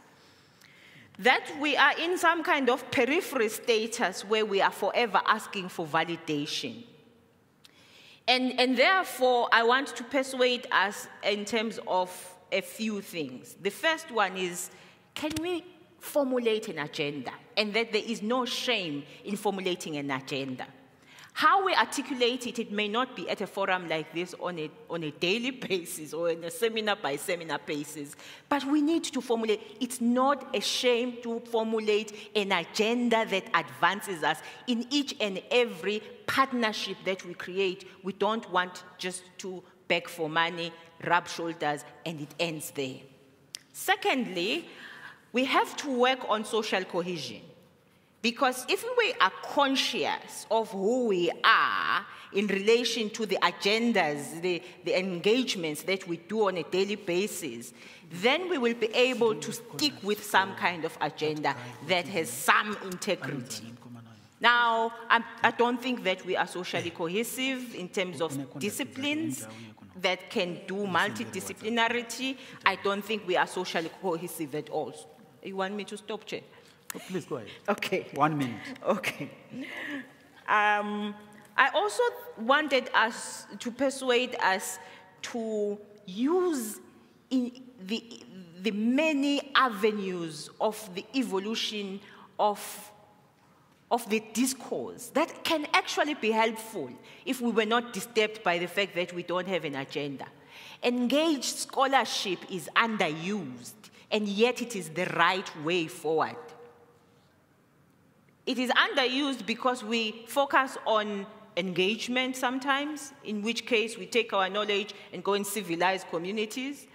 It is underused because we focus on scholarship sometimes, in which case we, we formulate floating a, a, a scholarship in which everyone else is data, but we don't do engaged science that actually recognizes that it is from here and, and, and being rooted is not a problem so that we can solve the problems by convergence of the multiple um, uh, disciplines in a way that creates newness because challenges do create the uniqueness of solutions. We owe the continent this. We owe the continent the ability to maneuver in spite of the formats that actually streamline us. Because the problem of this particular sector, and that is why it is now behind the society, is that we are responding too much to formats. We want to look good to formats. VC, it's not only an, a, a conceptual matter. It happens within our institutions that you end up finding that core business is supporting support. It's not support that, is, that, is, that is supporting core business. We congregate in committees in order to, to help um, HR do things. We, we congregate in committees in order to ensure that uh, audits are happening or reviews are happening. But it's actually um, very rare that you get support saying, come here, we have been we're noticing that you need this, this, and that. Our formats are like this. How can we help you? In other words, I'm trying to say that in, a, in as much as it might sound conceptual, it has ways of translating itself into real, everyday, practical ways in which we stifle ourselves as this sector. One last point, Chair. It actually is spilling over in so, to, towards society via institutions because the institutions have the learned. When I say society, I'm talking about ordinary citizens. They are ahead of us. But public service is also streamlined into, into formats. Um, that must be convenient and must be validated as good by others. And so we feed back into society via institutions the rigidity of not moving forward because we are collapsing as a society because we are we have no discretion that should have come from our scholarliness and that should actually have devised new solutions for society. Let us expunge the, the, the streak, the craving for being validated. Thank you, Chair. Thank you very much, Professor Sithole. That, that richness, that whole idea of trying to engender the African idea of Africa and not an exotic one, I think the message is very clear. And thank you very much that we need to disrupt a lot of other things that seem to be orthodox and standard and try and center who we are. It's very much appreciated. Um, as um, your program director, I think I seem to have small privileges, you know. So one of these privileges is just to step aside the, the, the program and ask the, the, the, the vice chancellor, the rector, to hand over gifts to our, to our visitors. And uh, these gifts are coming, one from the international, uh, uh, from the Office of International Affairs, headed by Dr. Cornelius Hagenmeier, and from the Center for Gender and Africa Studies, headed by Dr. Stephanie Cawood over there.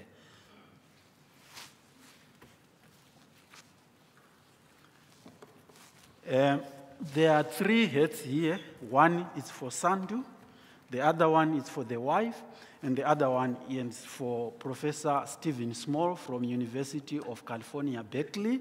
And the stick is for Sandew because he's growing old.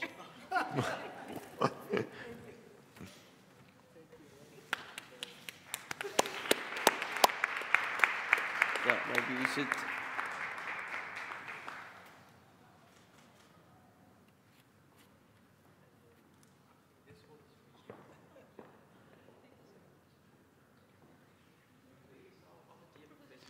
Stephen Small. Is he not?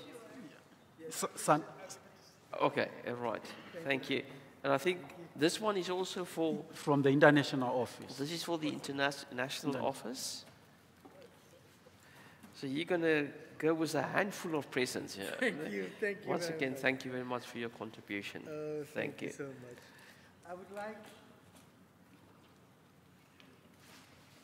I would like to offer you the latest version of the book Decolonizing the Mind, which has a theoretical framework. And I thank you for the presence uh, on behalf of my wife, of Stephen Small. Thank you, uh, International Office Center of Gender and African Studies.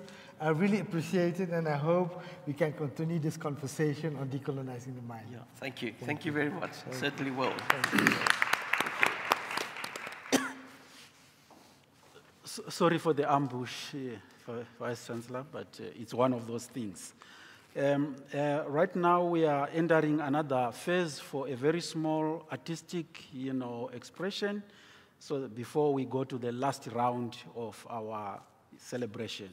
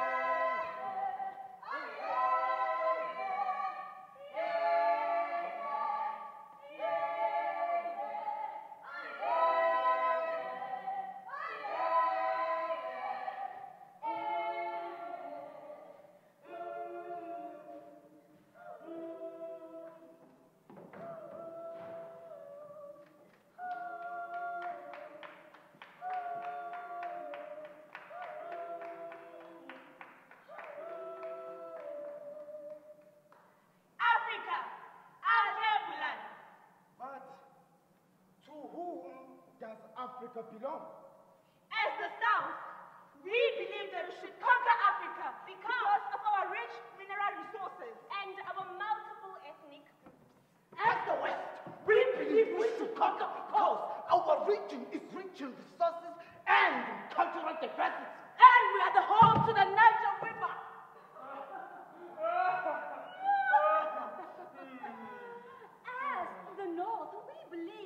Africa should be ours. Mm-hmm. we have created pharaohs and great pyramids and tombs. we could only build on our continent's riches and put Africa on top of the world. Bonjour. As the East, We believe that we should conquer. Have you seen the waterfalls? The Victoria waterfalls. and we speak French, the language of sophistication. See, but to whom does Africa belong? Yeah, let's ask our great storytellers. Probably they will help us in this situation.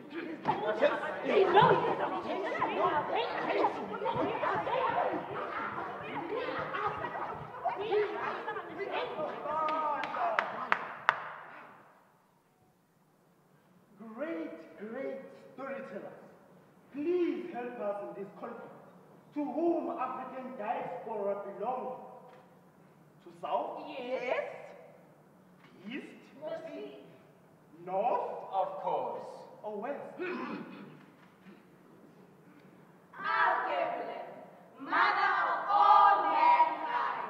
We came here for answers, not riddles. To whom does Africa belong? We shall find out for ourselves. They know it. It, it cannot be that.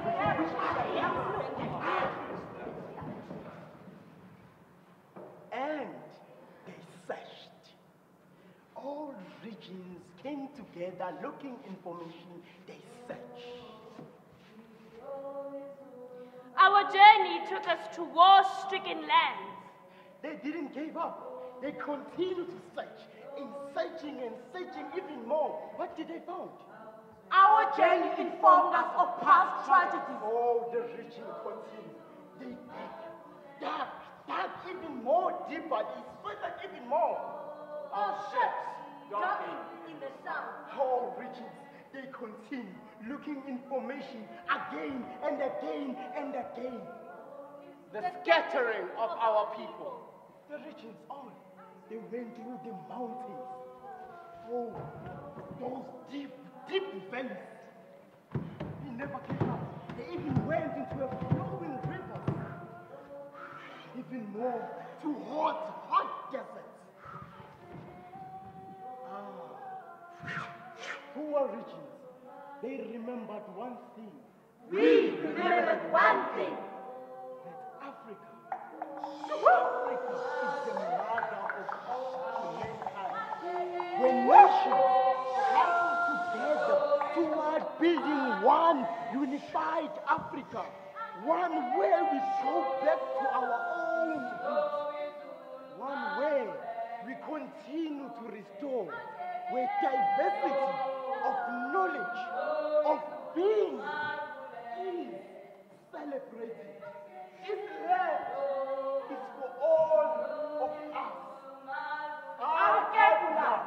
Mother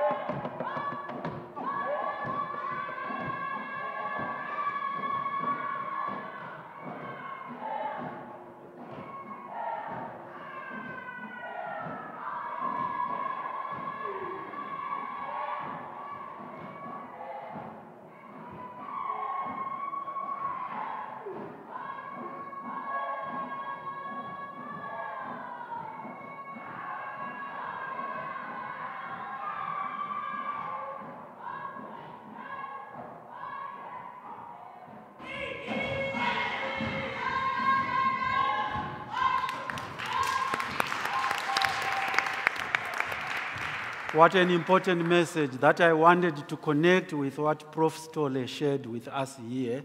There are lots of informalities that are there, and the most important question was to whom does Africa belong? And I want to add, to whom does the earth belong? To whom does the earth belong? Cornelius, take us through the importance of knowledge at a global stage. Over to you. Thank you very much, Vice Chancellor, um, fellow panelists. colleagues, students, and in absentia, I want to particularly acknowledge Professor Vasu Reddy, our new Vice Chancellor, Research and Internationalization, who would have loved to be here. He had to travel, but asked me to specifically deliver on his behalf his message of support to our Africa Day celebration. I am going to engage with connecting African knowledge to the world. Epistemic diversity is a central tenet of internationalization and also of our university's Vision 130. It refers to the idea that there are many different ways of knowing and that no one way is superior to others. For knowledge generation, it is extremely beneficial to have the cross fertilization between multiple knowledge paradigms. Strengthening epistemic diversity in Africa should maintain and enhance the value afforded to African knowledge globally. Sandew mentioned on Tuesday that we should consider reconstructing disciplines by developing new concepts based on non Western traditions. This is a powerful and impactful way to advance decolonization. My own view is that we should not discard the engagement with Western knowledge, but in it we should ensure that knowledge from Africa is afforded its rightful, equal position with all other knowledge. In Africa, we should consider reconstructing disciplines and processes in such a way that they are grounded in multiple knowledge paradigms and promote and put at a central place knowledge and ways of knowing and being from Africa.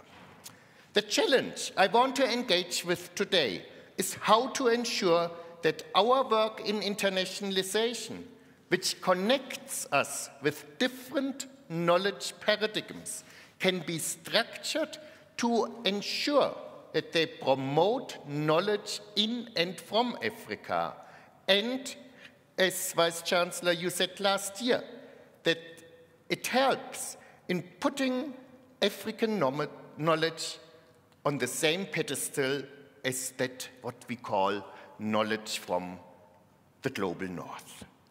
In my contribution, I will explore how it is possible to strengthen the engagement between African and global knowledge and simultaneously ensure that African knowledge is afforded its rightful place.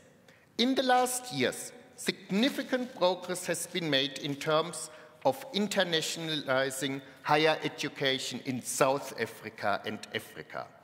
During the COVID periods, for example, here at the UFS, we continue to grow our African co-authored publications and managed to maintain those with other world regions at a stable level. We have strengthened other aspects of internationalization embarked, on the one hand, on a curriculum internationalization project. We've also established a decolonization engagement group, and we have intensified our internationalization at home activities. Colleagues, we have moved far in rethinking internationalization. At the UFS, we have successfully refocused on growing our African collaborations whilst continuing to invest in our relationships with the rest of the world. However, a concern is that collaboration between Africa and the rest of the world continues to be influenced by coloniality.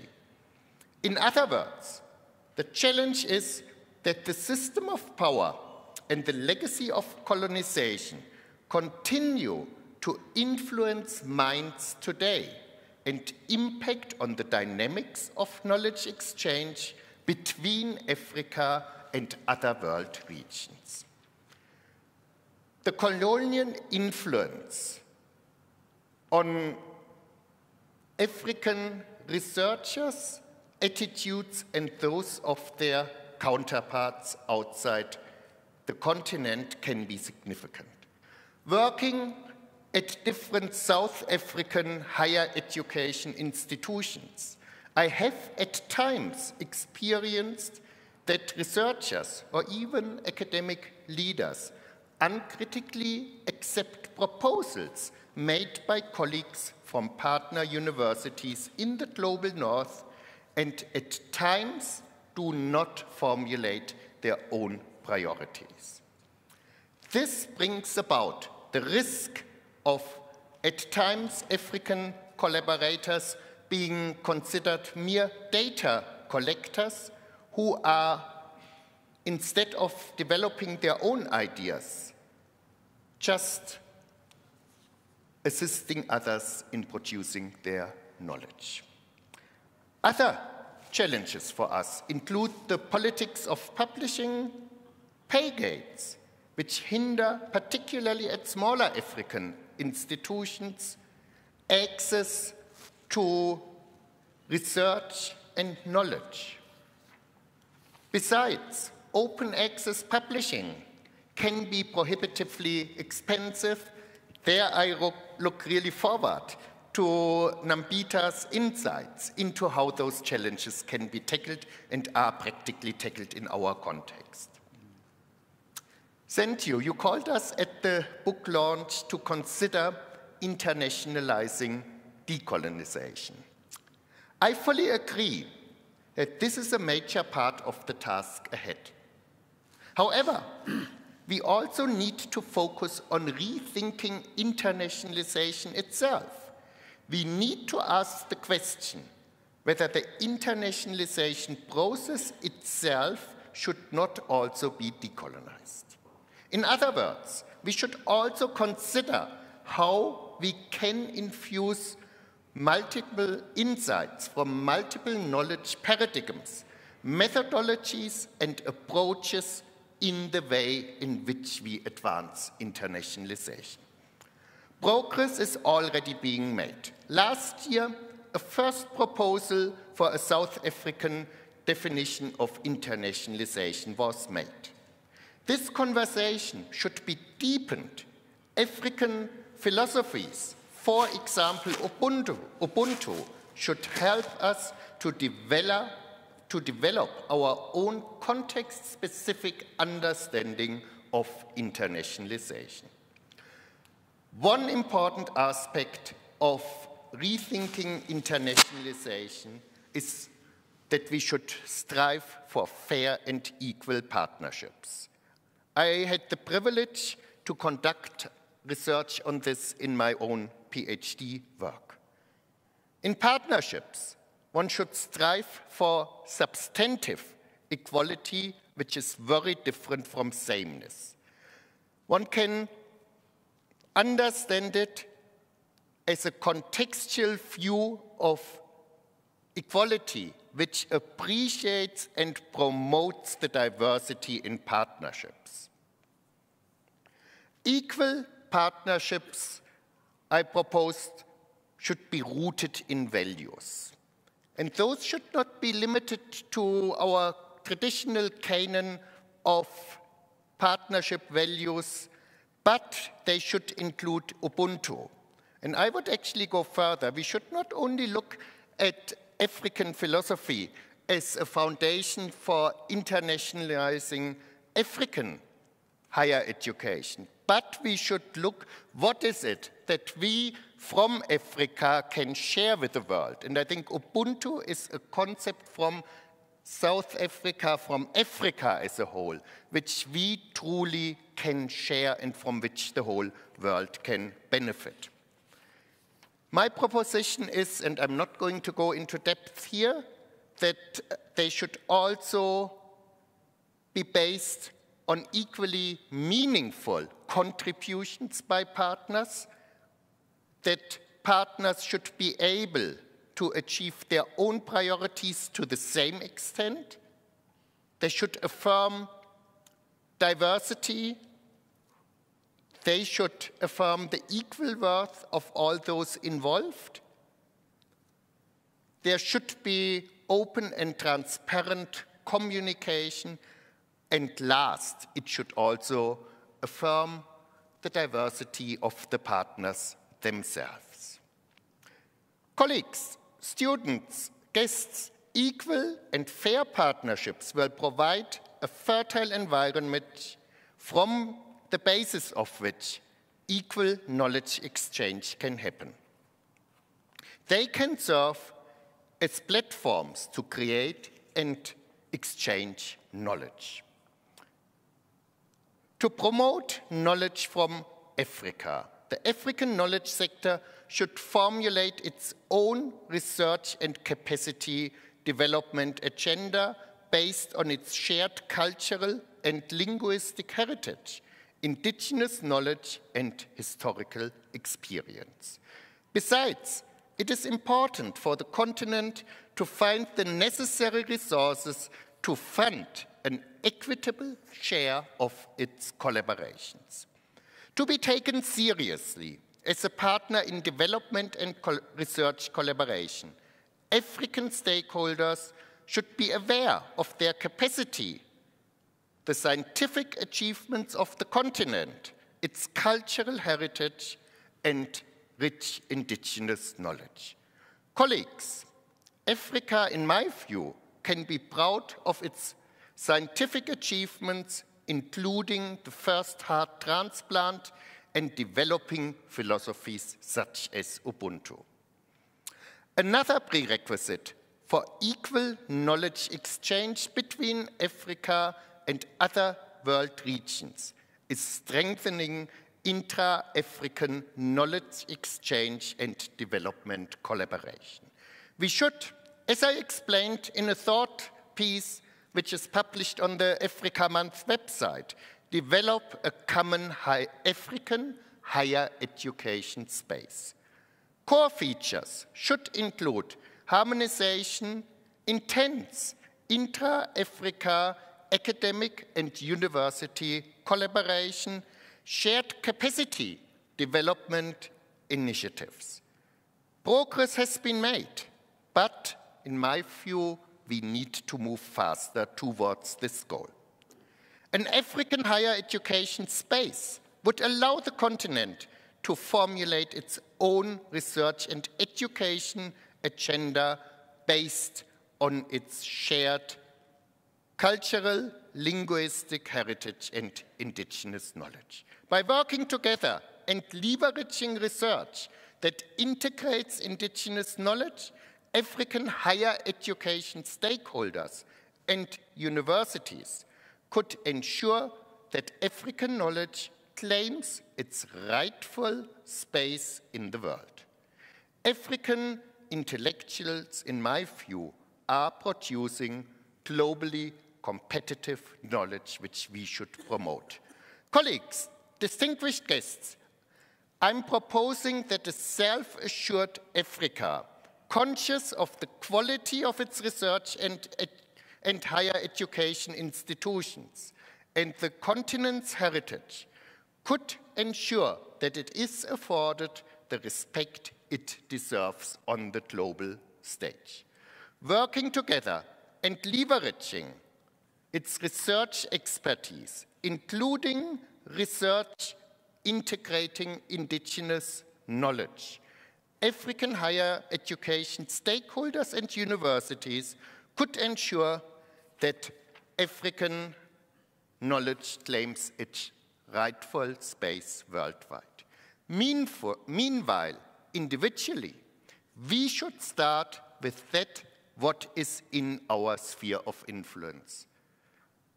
Universities, academics, and researchers, in my view, should engage with the world with a sense of pride and leverage on the capacity, knowledge, and insight from the continent. Thank you very much.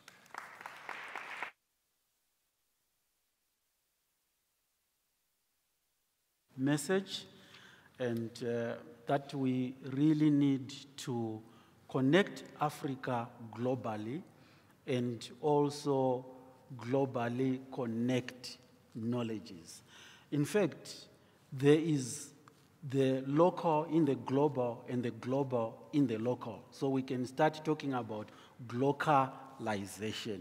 Thank you for that message. And the idea that we need to decolonize internationalization and also internationalize decolonization. These are key messages. Very much appreciated. Nambita, tell us why should we create publishing spaces in Africa, in higher education institutions in Africa? How do we go about doing this? Thank you. Thank you, Program Director. Good afternoon, everyone. Allow me to use the greetings of my previous colleagues, not isolating anyone. Why not? That's my answer for you. Thank Why you. not? Because as Africans, we publish every day, but we are selling our publications to paywall journals. Libraries are in forefront of innovative when it comes to scholarly communication, but the researchers, they don't see that work. However, we need to be globally exposure, to be globally exposed and have an impact. Because if we are not in globally exposure, we're not going to be having an impact. By doing so, which means we have to have embrace open access, that we always don't see it as a, a way of having things done. We have to do a diversifying of our research output. Because by doing that, we're going to close gaps. We're going to have exposure. We're going to have collaboration with other stakeholders abroad in Africa because Africa shares a lot of resources.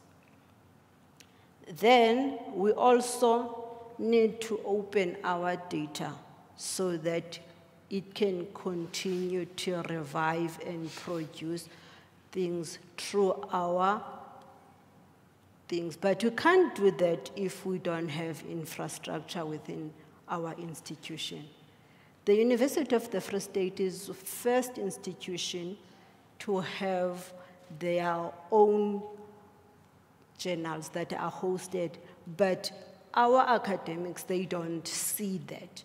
So if we don't support our infrastructures, we're not going to be publicly exposed because we prefer paywall journals that you collect the data from Africans, but you sell your data to, to the Africans. In order for those Africans, they need to buy back through subscription channels to see what we have been produced. Why are we doing that? To us, to our African. But at the end of the day, we are claiming that we are African. We are proud to say we are African. Why we are intimidating and sell our products abroad. University of the Free State have open access funding the library. Only if we support you, only if we you going to publish on open access journal because we believe that our research need to be publicly available without paying and without buying it back because if you publish in those paywall journals your people remember africa is one of the countries that is poor when it comes to economy. So why are we suppressing our products but we are busy selling out and producing? And africa is one of the countries that is got lots and lots of knowledge that they produce but when it comes to that knowledge our people they are starving from getting that knowledge. We have a SANLiC transformative agreements that also we are doing as a collaborative effort so that we can ease the pain of APCs from our researchers, but the researchers does not acknowledge that, that we have these transformative agreements that eliminates that. So I'm asking again, why not creating our spaces that we're going to own? Our own data, we collect it from our own people, but we keep it in closed doors. Why not open to them? So those infrastructures are everything because they need to be curated by our own people, but we turn a blind eye when it comes to that. In conclusion, open access publishing infrastructure and open access publishing funds improves accessibility, knowledge, democratization of global visibility, impact, research equity and diversity, open data, and reproduction. Without those, I'm still asking why not having our own spaces that we're going to embrace? If we are still continues to sell our data that we collect from our poor people, we're still gonna have this conversation in future. Why we are not embracing? Why can't we have our own infrastructure that supports our researchers? Because it's daunting to, to pay 43,000 of article processing while we can publish that information to open access journal so that your people can learn from what we have produced from them. I thank you. Thank you. Thank you. Thank you. Thank you for that beautiful message, and thank you for challenging us to look inside. Because a story that starts in the wrong place will never arrive at the right conclusion. So we start, we need to start looking at ourselves, start the journey with ourselves, publishing with our own structures that are there. That is a very important message, very much appreciated. Allow me now to ask the rector and uh, vice chancellor of the University of the Free State, Professor Francis uh, Petersen, to feed us on how the UFS is approaching this way or is putting strategies in place of promoting African produced knowledge and contribution to epistemology in terms of its diversity. Vice Rector and Vice Chancellor, over to you. Thank you. Thank you very much, uh, Program Director. so I had prepared a, a talk, but uh, sometimes the panelists throw something on the table that, uh, um, that you have to adapt what you want to say to also just bring some other, some other perspectives. So I'm probably going to uh, uh, deviate from the script that I have to, to also respond to some of the, uh, the statements that's been made. So uh, the focus of my talk, and I'm going to also try to make it a little bit shorter to, uh, to get you some of those minutes that uh, our first panelists uh, have, have, haven't given to you, but we will we'll try to balance it out. Thank you. So it, it is about promoting Africa uh, uh, um, produced knowledge. And, and I want to start off by saying that the university have launched the vision, end of last year, Vision 130. And uh, the vision is, um, is, is, is very much a vision that is outward focusing. Uh, it is tried to, to, to put uh, uh, our researchers, uh, our academics, but also our supporting staff uh, onto a global stage and, and to tell the globe what we actually are doing at the University of the Free State. And we have heard uh, various speakers trying to indicate what we are doing, what we're collaborating, who we're collaborating with. And I can cite various programs at a, at a postgraduate level, various research projects that we are doing uh, um, that, that, that we are doing actually, uh, not only within the University of the Free State, but also with, with scholars and knowledge producers on the continent, but on the global stage. Uh, and, and I'm not going to I'm not going to focus too much on that. Uh, um, our, our, um, our guest speaker of our guest uh, that is in fact hosted by the Center of Gender and Africa Studies, and we've got representation of the Gender of African Studies here in, in all is, is, is one of those uh, uh, research groupings that's doing fundamental and, and a, a lot of, of good work. But I want to come back to what I said earlier. Uh, no, we, we, we, uh, we often have to frame what we're doing uh, uh, as a university uh, and as an organization. What is the purpose of doing that? Um, and, and, and I've been saying it uh, at various platforms in our university is that as university we should grapple with the question if we're not doing it to better our society then we should even question the existence of the university uh, as an institution. Um, if we go back to the producers of knowledge, then uh, universities are producing most of the knowledge that we have uh, um, in the world today. And it's important, there, therefore, to say and to ask the universities how do you actually frame that? uh, um, in terms of the value of the knowledge that we are producing. I'm not even uh, talking about the different knowledge systems, uh, because a lot of the discussion has been around that. So for me, I often go back to let's, uh, and that's my frame, and in fact, it's also embedded in Vision 130, which is our new vision, uh, and, and our strategy is linked to it. It's within the Sustainable Development Goals that we embed uh, uh, uh, uh, our purpose. And there's 17 of those, but, but I, I want to, to probably cite probably three or four. Uh, the ones that's closest to me, it is about the whole issue of quality education and, and, and, and, and, and specifically on the African continent, that is the, the continent with the largest group of, of youth. And they're going to be our next, our future generation. That is gon- that's going to inform this discussion that we just have today.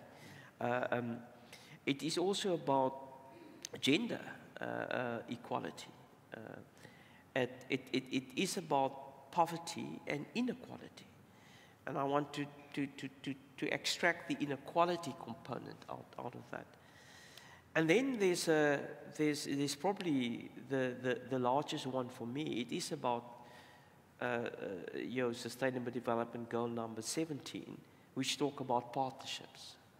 Um, but if you draw th- right through it the whole issue of equity and equality, then it is about fairness. Uh, uh, um, but I want to, uh, I'm not talking like a philosopher, uh, uh, uh, but I want to pull it, pull it further down and to say it is about a value, a value-based system uh, uh, um, that we should embed. And, and, and, and it was important, it's important for me that in our conversation about knowledge systems and about different knowledges, uh, um, that we pull it back to why it's important to value the different knowledge system because it's the same argument that we would have that you can't have all of these, say, SDGs being delivered on if you don't have the different disciplines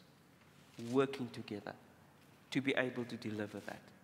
Because otherwise, you would never be able to solve it. And if we have the same reali- realization that for these purpose driven sustainable development goals, it's not only one particular knowledge or an approach to knowledge that is going to resolve and going to give us solutions to that. It is about all the knowledge systems that has to come together to be able to give us the delivery of your sustainable development goals, to make a better world, a safer world, a fairer world, to build equality in the world. And therefore, if that is for us an understanding, then we will have to challenge and understand how fairness and equity plays out in policy, as you have indicated, play out in funding instruments. How do you, how do you put funding instruments together? Play out in partnerships. And, and, and, and for me, it, it, it, it is about what I would call the co-creation of, of these, of, of, of, of, of conceptual solutions that is based on equity in the knowledge and the knowledge system that have to come to the table to deliver on it. And, and, and, I, and I want to use the word co-creation in a way to also link up to my learned colleague on my right. Uh, um, when we talk about academics and support, I think our, our approach is not perfected as yet, but our approach is that between academics and support staff, there should be a co-creation. Uh, um, and it's not, this is what the academic needs, and the support go and try to figure, figure it out. It is about co-creating that together. And if we have that sort of approach uh, um, in the way in which we deal with, I actually don't want to use the word, but global north and global south type of knowledge systems, uh, um, then I do believe that we would make inroads in terms of the equity and the value that knowledge systems bring to the table to resolve the challenges that humanity is sitting with at the moment. And, and, and where would one start? I do agree, uh, agenda setting is very important. And I often say in a South African context that we've got various system bilaterals between Canada and South Africa, between UK and South Africa, between the European Union in South Africa. Why don't we set our agenda within that as a sector, but also as a continent, so that this could strengthen the purpose of why we're doing it in the 1st mm-hmm. place. And I would say, pick those universities, those countries that are on the same page of this understanding. They're not all on the same page, and we know. But pick those because I think if we start to work with that, then we will set examples and will gain momentum. And, and, and, and I want to, want to finish off. Um, in the debate yesterday, there were two vice chancellors from universities in the UK, two, I would probably say in the top 10 universities in the UK. And they, they said that they actually want to move away from just, you know, the ranking systems and the fact that mm. you got superior knowledge and the fact that you got superior institutions. Because if you're number one, you still have to work hard because it drives a competitive mm. approach in the system. I want to be the best. Uh, um, and if you're the best, you, you still continue to do the best because the other number two, three, four is coming for you to, to, to, to get that, that, that, that number one spot.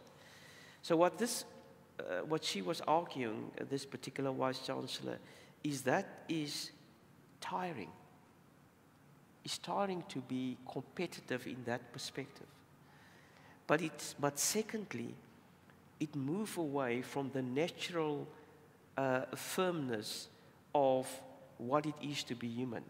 And to is to be human is actually to collaborate. It's actually to work together.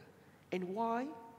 Because we want to resolve the issues that the world need to resolve.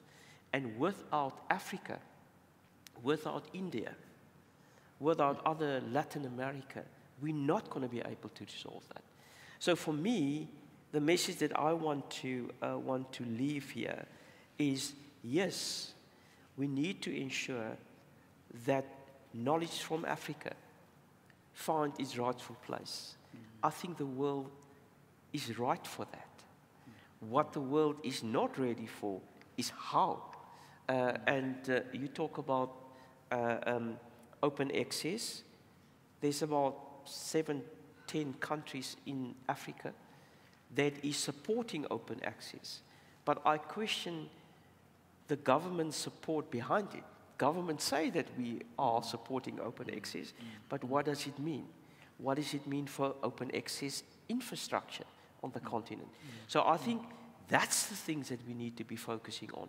Uh, um, and I do think that there is more support out there in the global world that we give credit for. But I agree with, again, with Professor Sithole.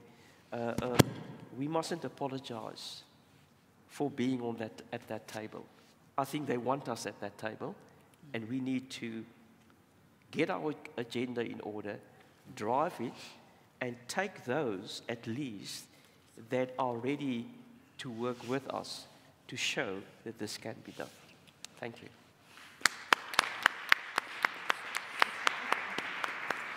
Thank you very much, Rita, for that wonderful message in terms of the way forward and how we should try and work together globally and connect. And this whole idea of ecologies of knowledge. It is not just about critique, as we see in many theories, it is about doing the work. So we should move away from just critiquing, even if it is Western knowledge, but let us see how we can do the work on the ground. Thank you for the beautiful message. Very much appreciated.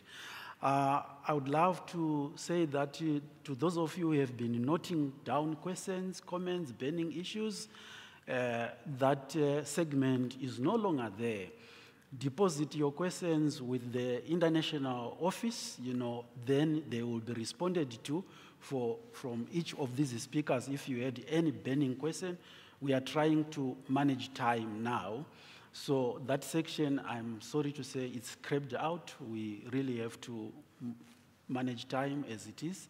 So we, if you allow me a minute before I hand over to the person who should really thank us here for this work, is to simply say, I think the message that I got from all the presentations is for us to work very hard to grow the African idea of Africa, because that's talking about knowledge from and in Africa.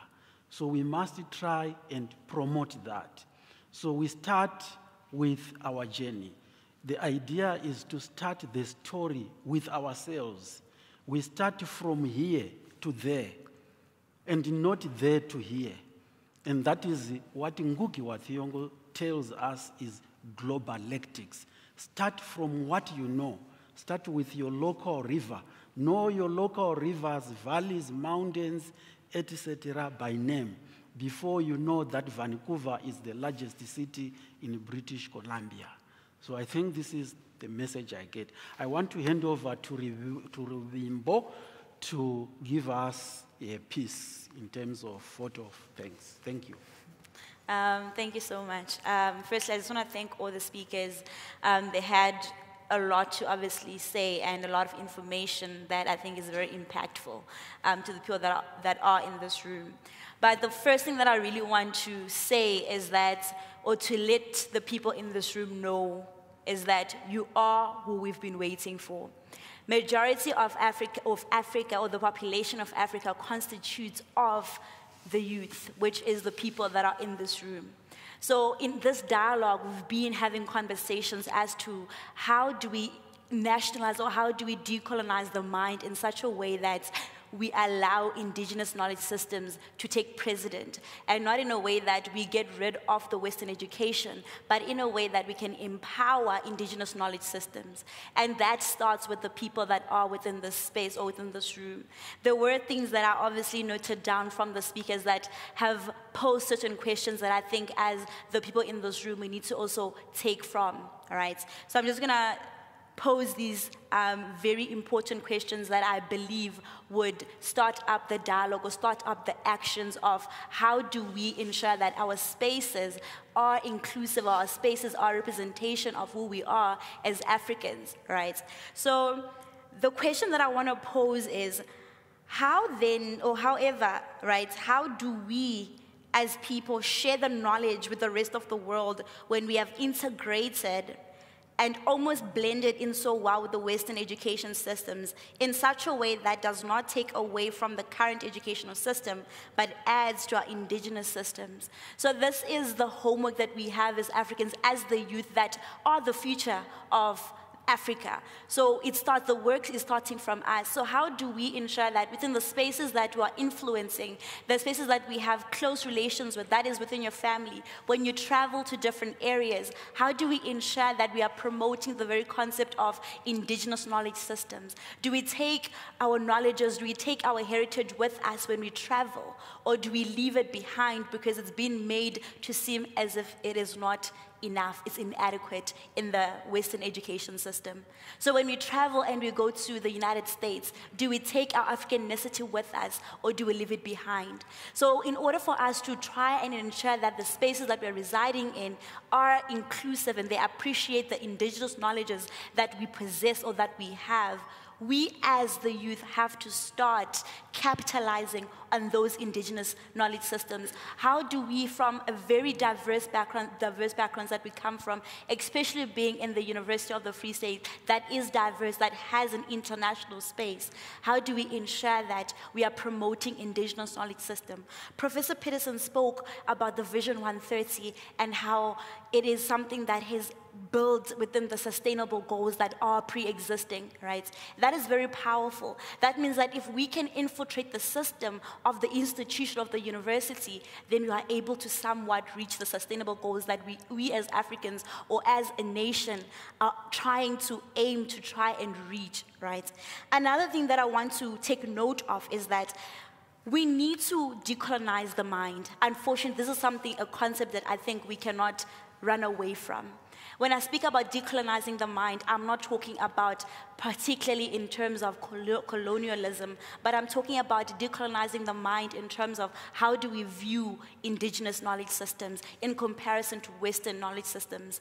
Do we see them in the same hierarchy or do we see them as less than? Do we see indigenous systems as less than? Because if we have that mentality, we aren't able to actually create and formulate transformation that is needed or that will give us as Africans the ability to compete or to be competing um, members of the international um, stage. And that is something that we are trying to obviously advocate for, right? Um, so within that, I just want to say a few more um, words um, is that the value of the land is determined by its people, um, its culture, the people in terms of culture, sustainability, knowledge, and most importantly, Ubuntu. So if, as Africans, we are unable to practice the biggest value that I think we all resonate with, and I say this as the SRC International, I say it in the sense that as SRC, SRC International, I'm not only representative of the international students, but a representation of everyone that is in this room. So when you talk about the concept of Ubuntu, it's something that resonates with Africa at large. Are we able then to ensure that we within our cultures are sustaining that. Are we sustaining the concept of Ubuntu to such a degree that it is impactful and it reaches many people? Ubuntu is, because, is the concept that I am because you are. Um, we also had, I think, um, Nobata Nabita, forgive me for mispronunciation. Um, she spoke about how we are selling our knowledges and then as Africans we're buying it back. And then that, that ties in with the concept of Ubuntu. Are we as Africans treating each other the way that we're supposed to be treated? Because if that's the concept that we're running with, then there's a big room, a big gap that we as the youth can take space in because we're believing and we're living in the concept of Ubuntu. Um, with that having been said, I just want to thank the speakers. I think you really gave us something to think about. I may not have given the fair, fair representation of every single person that's in this room, but I do want to say thank you so much for sitting in this room because it's, it's through these dialogues, these um, engaging dialogues with academia, with people that have knowledge, that we're able to form and get something out of. We are planting seeds of change. So I don't want people in this room to believe that this was just a dialogue. I think that we should be inspired and start changing the spaces that we are in so that we can be the change that we want to see. Change begins from us and not from just having dialogues, but from actively doing something because we want to see Africa being great. We want to be comp- fair competitors on that global market and that international stage. Thank you.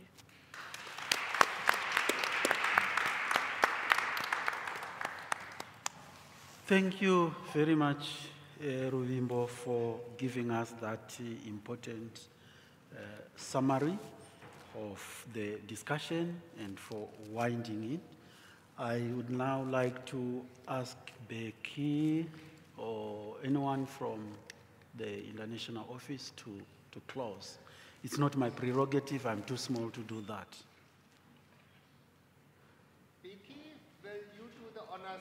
You were uh, the one who led the compilation of this book.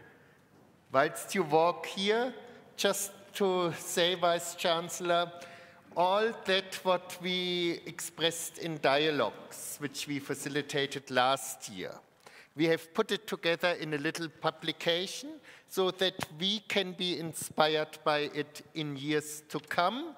And we will surely undertake the same this year so that we can have a continuing conversation. But over to you, Becky, to just introduce and hand over to our panelists and they were to find it for everyone else.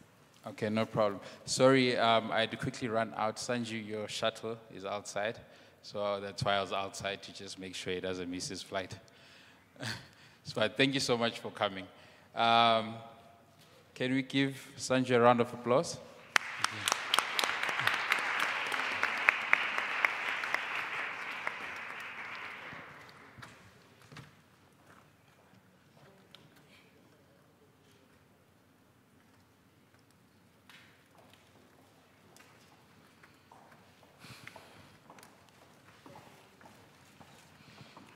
Thank you, thank you, thank you.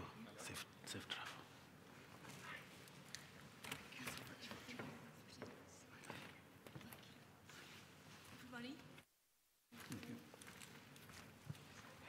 Um, I'll just be quick. Um, so we decided to, to create um, a reporting booklet on all diversity activities that we uh, that are taking place on campus, or that rather we have been um, um, involved in and doing. So we do hope to continue, as Dr. Cornelius did say, we do hope to continue to actually improve the style how we are doing it and document and publish what we are doing as an institution. I think it's very much important where students are involved, we do showcase that and appreciate what the institution is doing itself. So the documenting and having this on, on a more formal basis being published assists us in taking, uh, in bringing forth all the cultural diversities that are happening within our institution and also in the world for longer lasting, for a longer lasting effect. So I think uh, just to keep it short, I'll, ca- I'll cap it there and to share my gratitude for all of you coming and my appreciation. And thank you so much for the panel and till next time. Thank you. The booklet is on the website, I think you'll find it through the International Office's website. So.